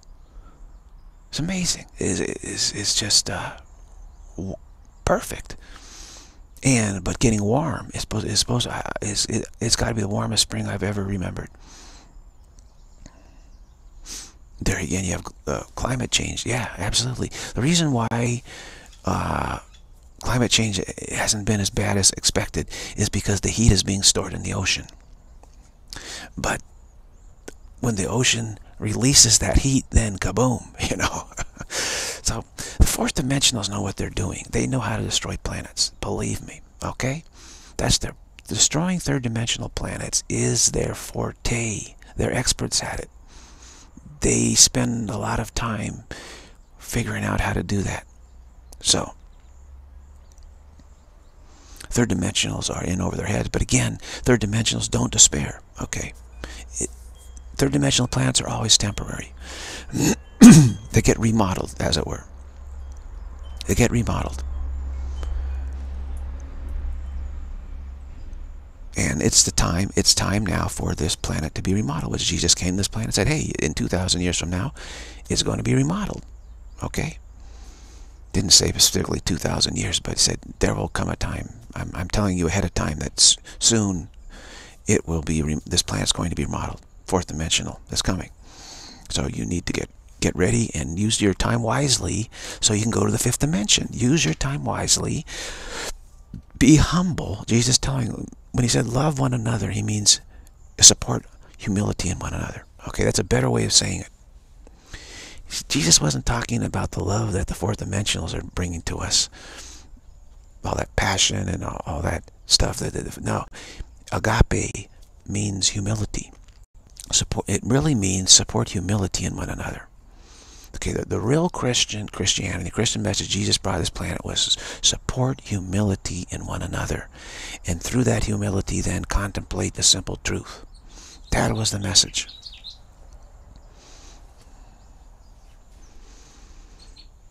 But now this has gotten mixed in with the fourth dimensional message, which is make make physical pleasure, physical love as, as, as enticing and as wonderful and as sophisticated as possible.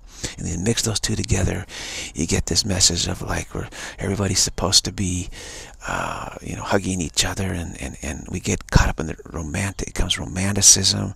The romanticism, it, it gets all messed up, very messed up. When the third and fourth dimensions start mingling, it gets all messed up very badly and you get the spiritual romanticism. Love gets romanticized, and uh, we just don't we, we don't understand what, what's what's going on.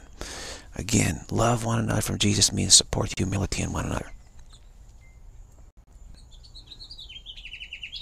So when people gathered together, uh, the the the communion wafer that also is a mixture got mixed up between fourth and third dimension really, if you want to look at the communion wafer, like in Catholicism, everyone takes the, the, the communion wafer collectively. What is a communion wafer? Think about it. It's, it stands for humility, non-sophistication. All right, it's unleavened bread. If you go into bakeries, eh, go into bakeries that look at all the stuff they have. Super sophisticated stuff, right? All the all the bread and the pastries and the dough, what they do with it, you know. It's all frou-frou now, you know, sophisticated. What is the communion wafer?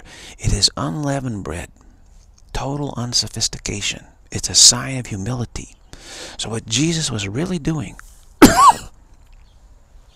telling us in the Passover, the feast, the feast, uh, the Last Supper, sorry, the Last Supper feast, uh, unleavened, unleavened bread do this in mem memory of me. He was trying, he was helping set the parameters of third dimensional, how third dimensional life is supposed to be utilized. He's saying, gather together. When you gather together in my name, practice humility, non-sophistication. Your dress should be non-sophisticated. Your mannerisms should be non-sophisticated. Your food should be non-sophisticated. Your dwelling place where you should be non-sophisticated. Practice humility. That was the whole purpose of Christianity, is to use third dimensional time correctly. Okay, that is the communion wafer in Catholicism. Whether it's Eastern or Orthodox or, or, or Catholicism, in Christianity is humility, support humility in one another. Collectively, let us all eat this simple, unleavened wafer. So in other words, food should be minimal and simple. You don't indulge in the grotesqueness of the fourth dimensional stuff like Roman times of of the, these orgies that they had, terrible orgies of, of, of food and entertainment and licentiousness and, and brutality and all this stuff. That is using third dimensional time incorrectly. So Jesus said, look, when you're in the third dimension, you have to use your time correctly. And you need to strive for humility, be humble with what, and support humility within one another. That is the true Christian message.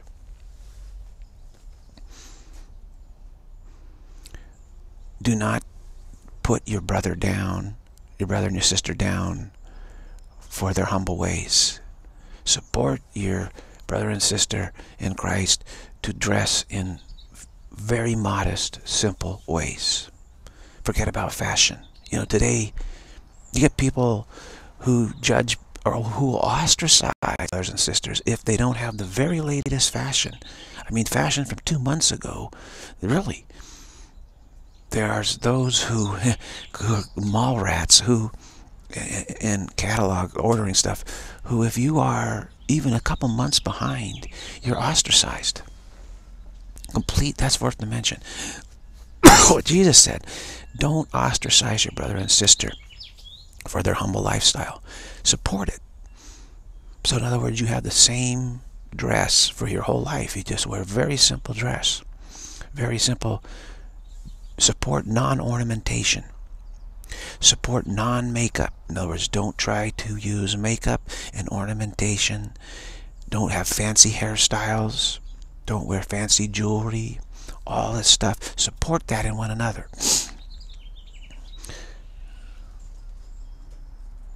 Support simple music in one another.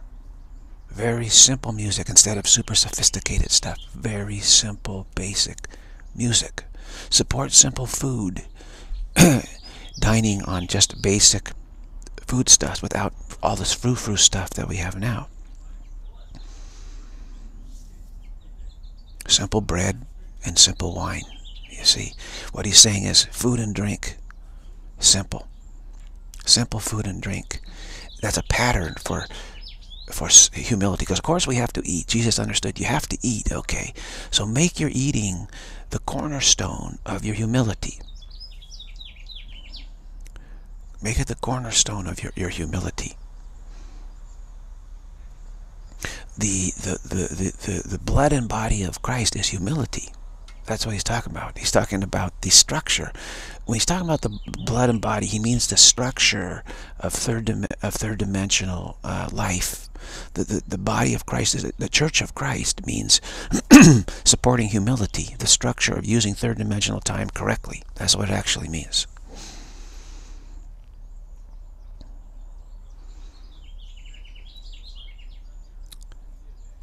So that the, the, the churches should be simple. Should not be all Rococo, Baroque, all this ornamentation, frou-frou stuff. No, should be very basic, very simple. The pews should be basic and simple. The music should be basic and simple. The dress when you go should be basic and simple. Humble. Support humility in one another is the essential third dimensional teaching. The essential third dimensional teaching. It's not just Jesus. It is the essential third dimensional teaching for all third dimensional third dimensions all their dimensional experiencing. The teaching is the same. Support humility in one another here on the planet. Now, the fourth dimensionals have invaded this planet and they've demonized this humility. And they're saying support sophistication in one another. there you have this terrible time of, of, of changeover as this world now has been targeted by the fourth dimensional. I always felt like wanting to, I went through a period of wanting to wear just the same pair of shorts, same pair of sandals, shorts, or shoes, sandals, and the same shirt every day.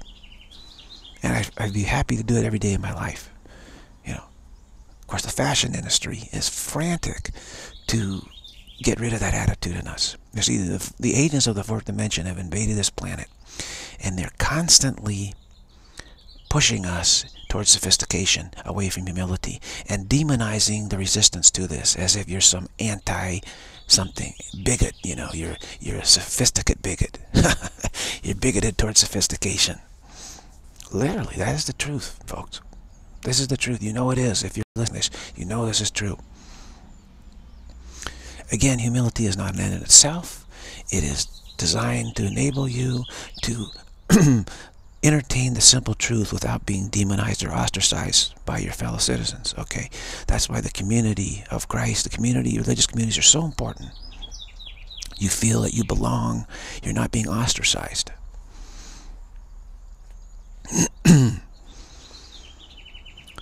so you're supported in your habits, you see. Your habits of humility need support in the third dimension because you're prone to go towards sophistication again.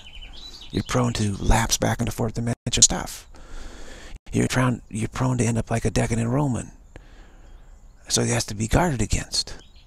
Has to be guarded against. That's why they have monasteries and convents. Simple is, is those are people who who tendency to lapse to fourth dimension saying, wow, I don't want to do that. Let's support humility. Let's be in a community of humility with one another. So then we can then contemplate the simple truth without feeling being ostracized and pressured to, to be, so we won't be pressured to thinking that we're stupid. Okay?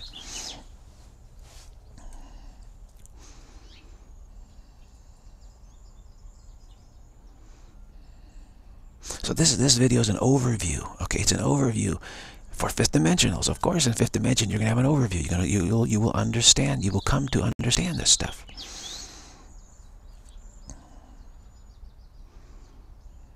If you wonder how could I understand this, well, I've been hanging out with some, some pretty good teachers. That's that's why. Listening to the Holy Spirit, saying, "Holy Spirit, speak directly to my mind." As I told you, that that is the highest prayer possible, and I've been using that. And look what happened. Look, look what's happened. I'm able to give this overview to you here in the third dimension, at a time when the fourth dimension is taking over the third dimension and destroying it. I'm able to give this information out because I said, "Holy Spirit, speak directly to my mind." And of course, that's a fifth dimensional prayer. That is a fifth dimensional prayer. It's not a third dimensional. It's, it's more of a fifth dimensional prayer. Third dimensionals, it's too fast for, for, for Third dimensionals are, again, ambivalent. So it's difficult for a fifth dimensional to come in here and say, boom, boom, boom, boom, boom. You have to be a really, really wise teacher to do that, like, like a Jesus. Jesus, super wise, and knew how to set up third dimensional situation to, to utilize the time correctly.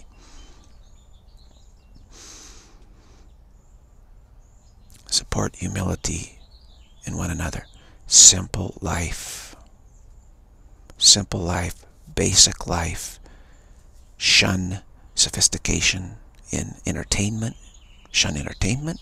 Shun sophisticated music. Sophisticated theater. Drama. Uh, clothing. Food styles.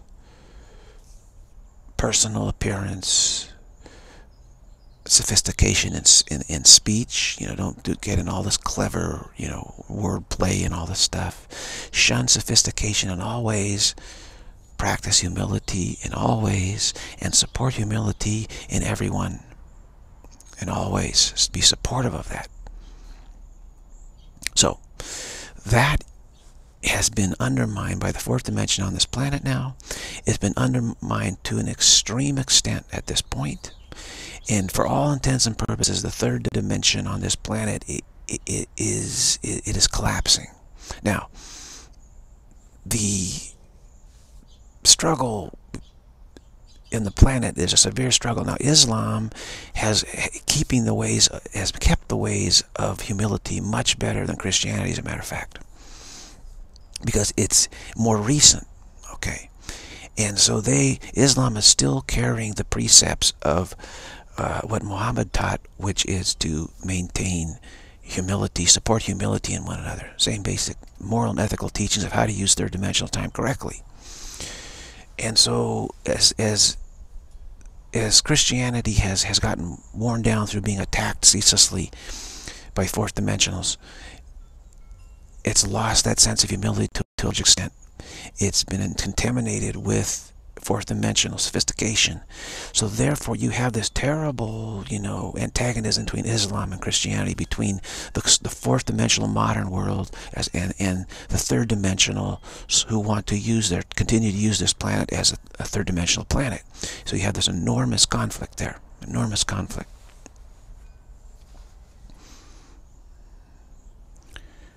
So as, as a functioning religion, as a functioning uh, set out guidelines for how to use third dimensional time correctly. Islam is actually more more effective uh, in many ways. Actually, it, it has it has the right.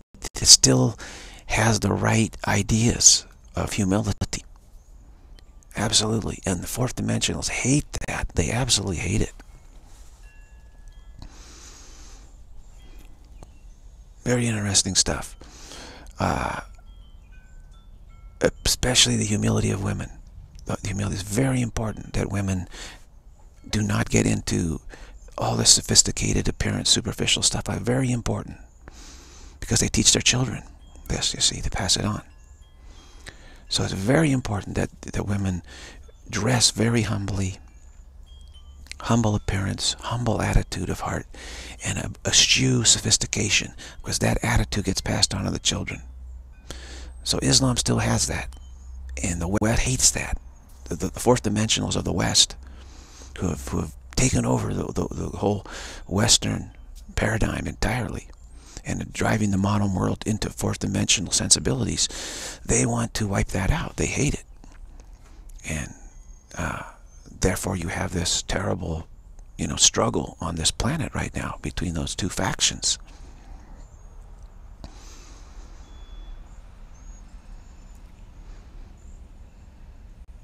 So this is just this is just fifth dimensional clarity.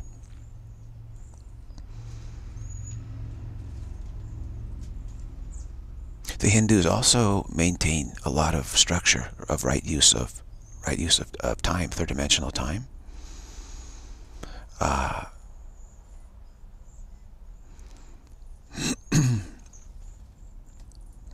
so there are there are still places on this planet where the right use of third dimensional time is still valued, but it's being drastically undermined, drastically.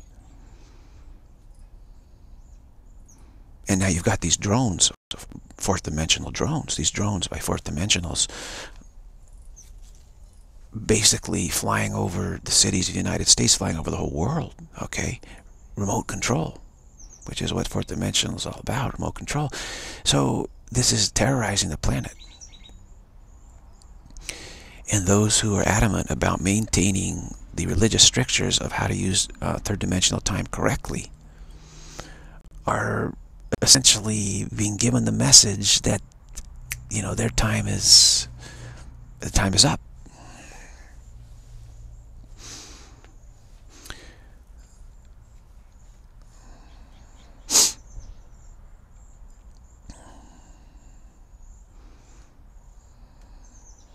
this whole drone situation is a very bad situation actually that that's the the the final you know straw as it were along with setting up all these resonance towers and manipulating the resonance of the planet and the frequency, all of this stuff. The, the whole drone program uh, is, is, is, is terrorism, global terrorism actually. Absolutely is.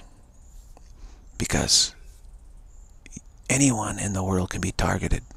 Anyone for opposing the fourth dimensional plans, you see.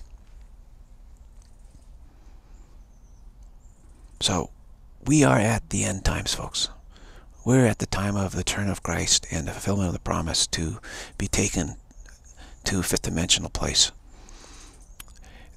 and a relocation of third dimensionals to another planet. We're at that time. The drone program, to me, really uh, cements it. It absolutely does. There's many, many, many, many things that have taken the fourth dimensionals done. But to to put to put this whole drone thing in place is uh, truly an abomination. Uh, from it's, it's, a sign from the standpoint of uh, point of no return. Point of no return. Once you are able to do that, you see, then uh, you, you you have a situation where it's the, the wheels have come off and it's it's it's over for the third dimensionals on this planet when, when this is able to be to take place as it has and as it's accelerating and the United States accept drones in their cities now patrolling the sky, patrolling the skies of the cities. Supposedly to cut down on crime etc etc that's the justification for it and the expansion of, of who can be targeted on this planet by this drone program and the, the, the, secrecy of it and the vagueness of it and the fact that it can be expanded, expanded, expanded, expanded. It's curtains. It's curtains for this third dimension on this planet. It is curtains, unfortunately.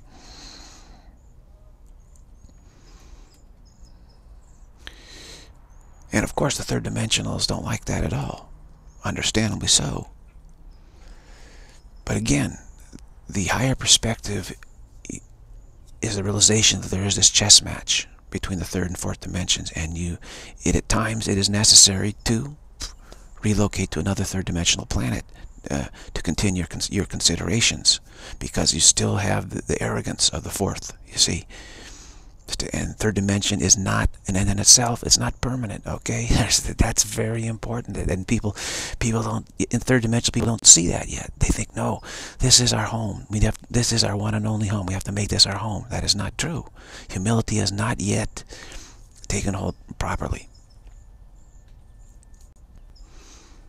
And the considerations have not yet been made properly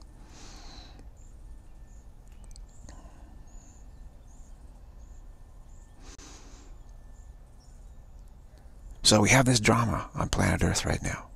And I'm giving, hopefully I'm giving you this big overview now. You've seen the, the big picture of, of, of, the, the battles and the struggles and all what's going on. And you realize, hey, there's nothing you can do about it. There's nothing anyone can do about it.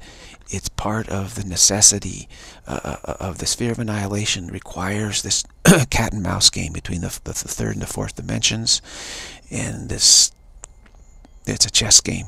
And you have the option to go to the fifth dimension, which you're able to see the whole thing for what it is, to recognize the simplicity of truth, the simple mistake we've made in our and trying to arrogate to ourselves that we're prime creator.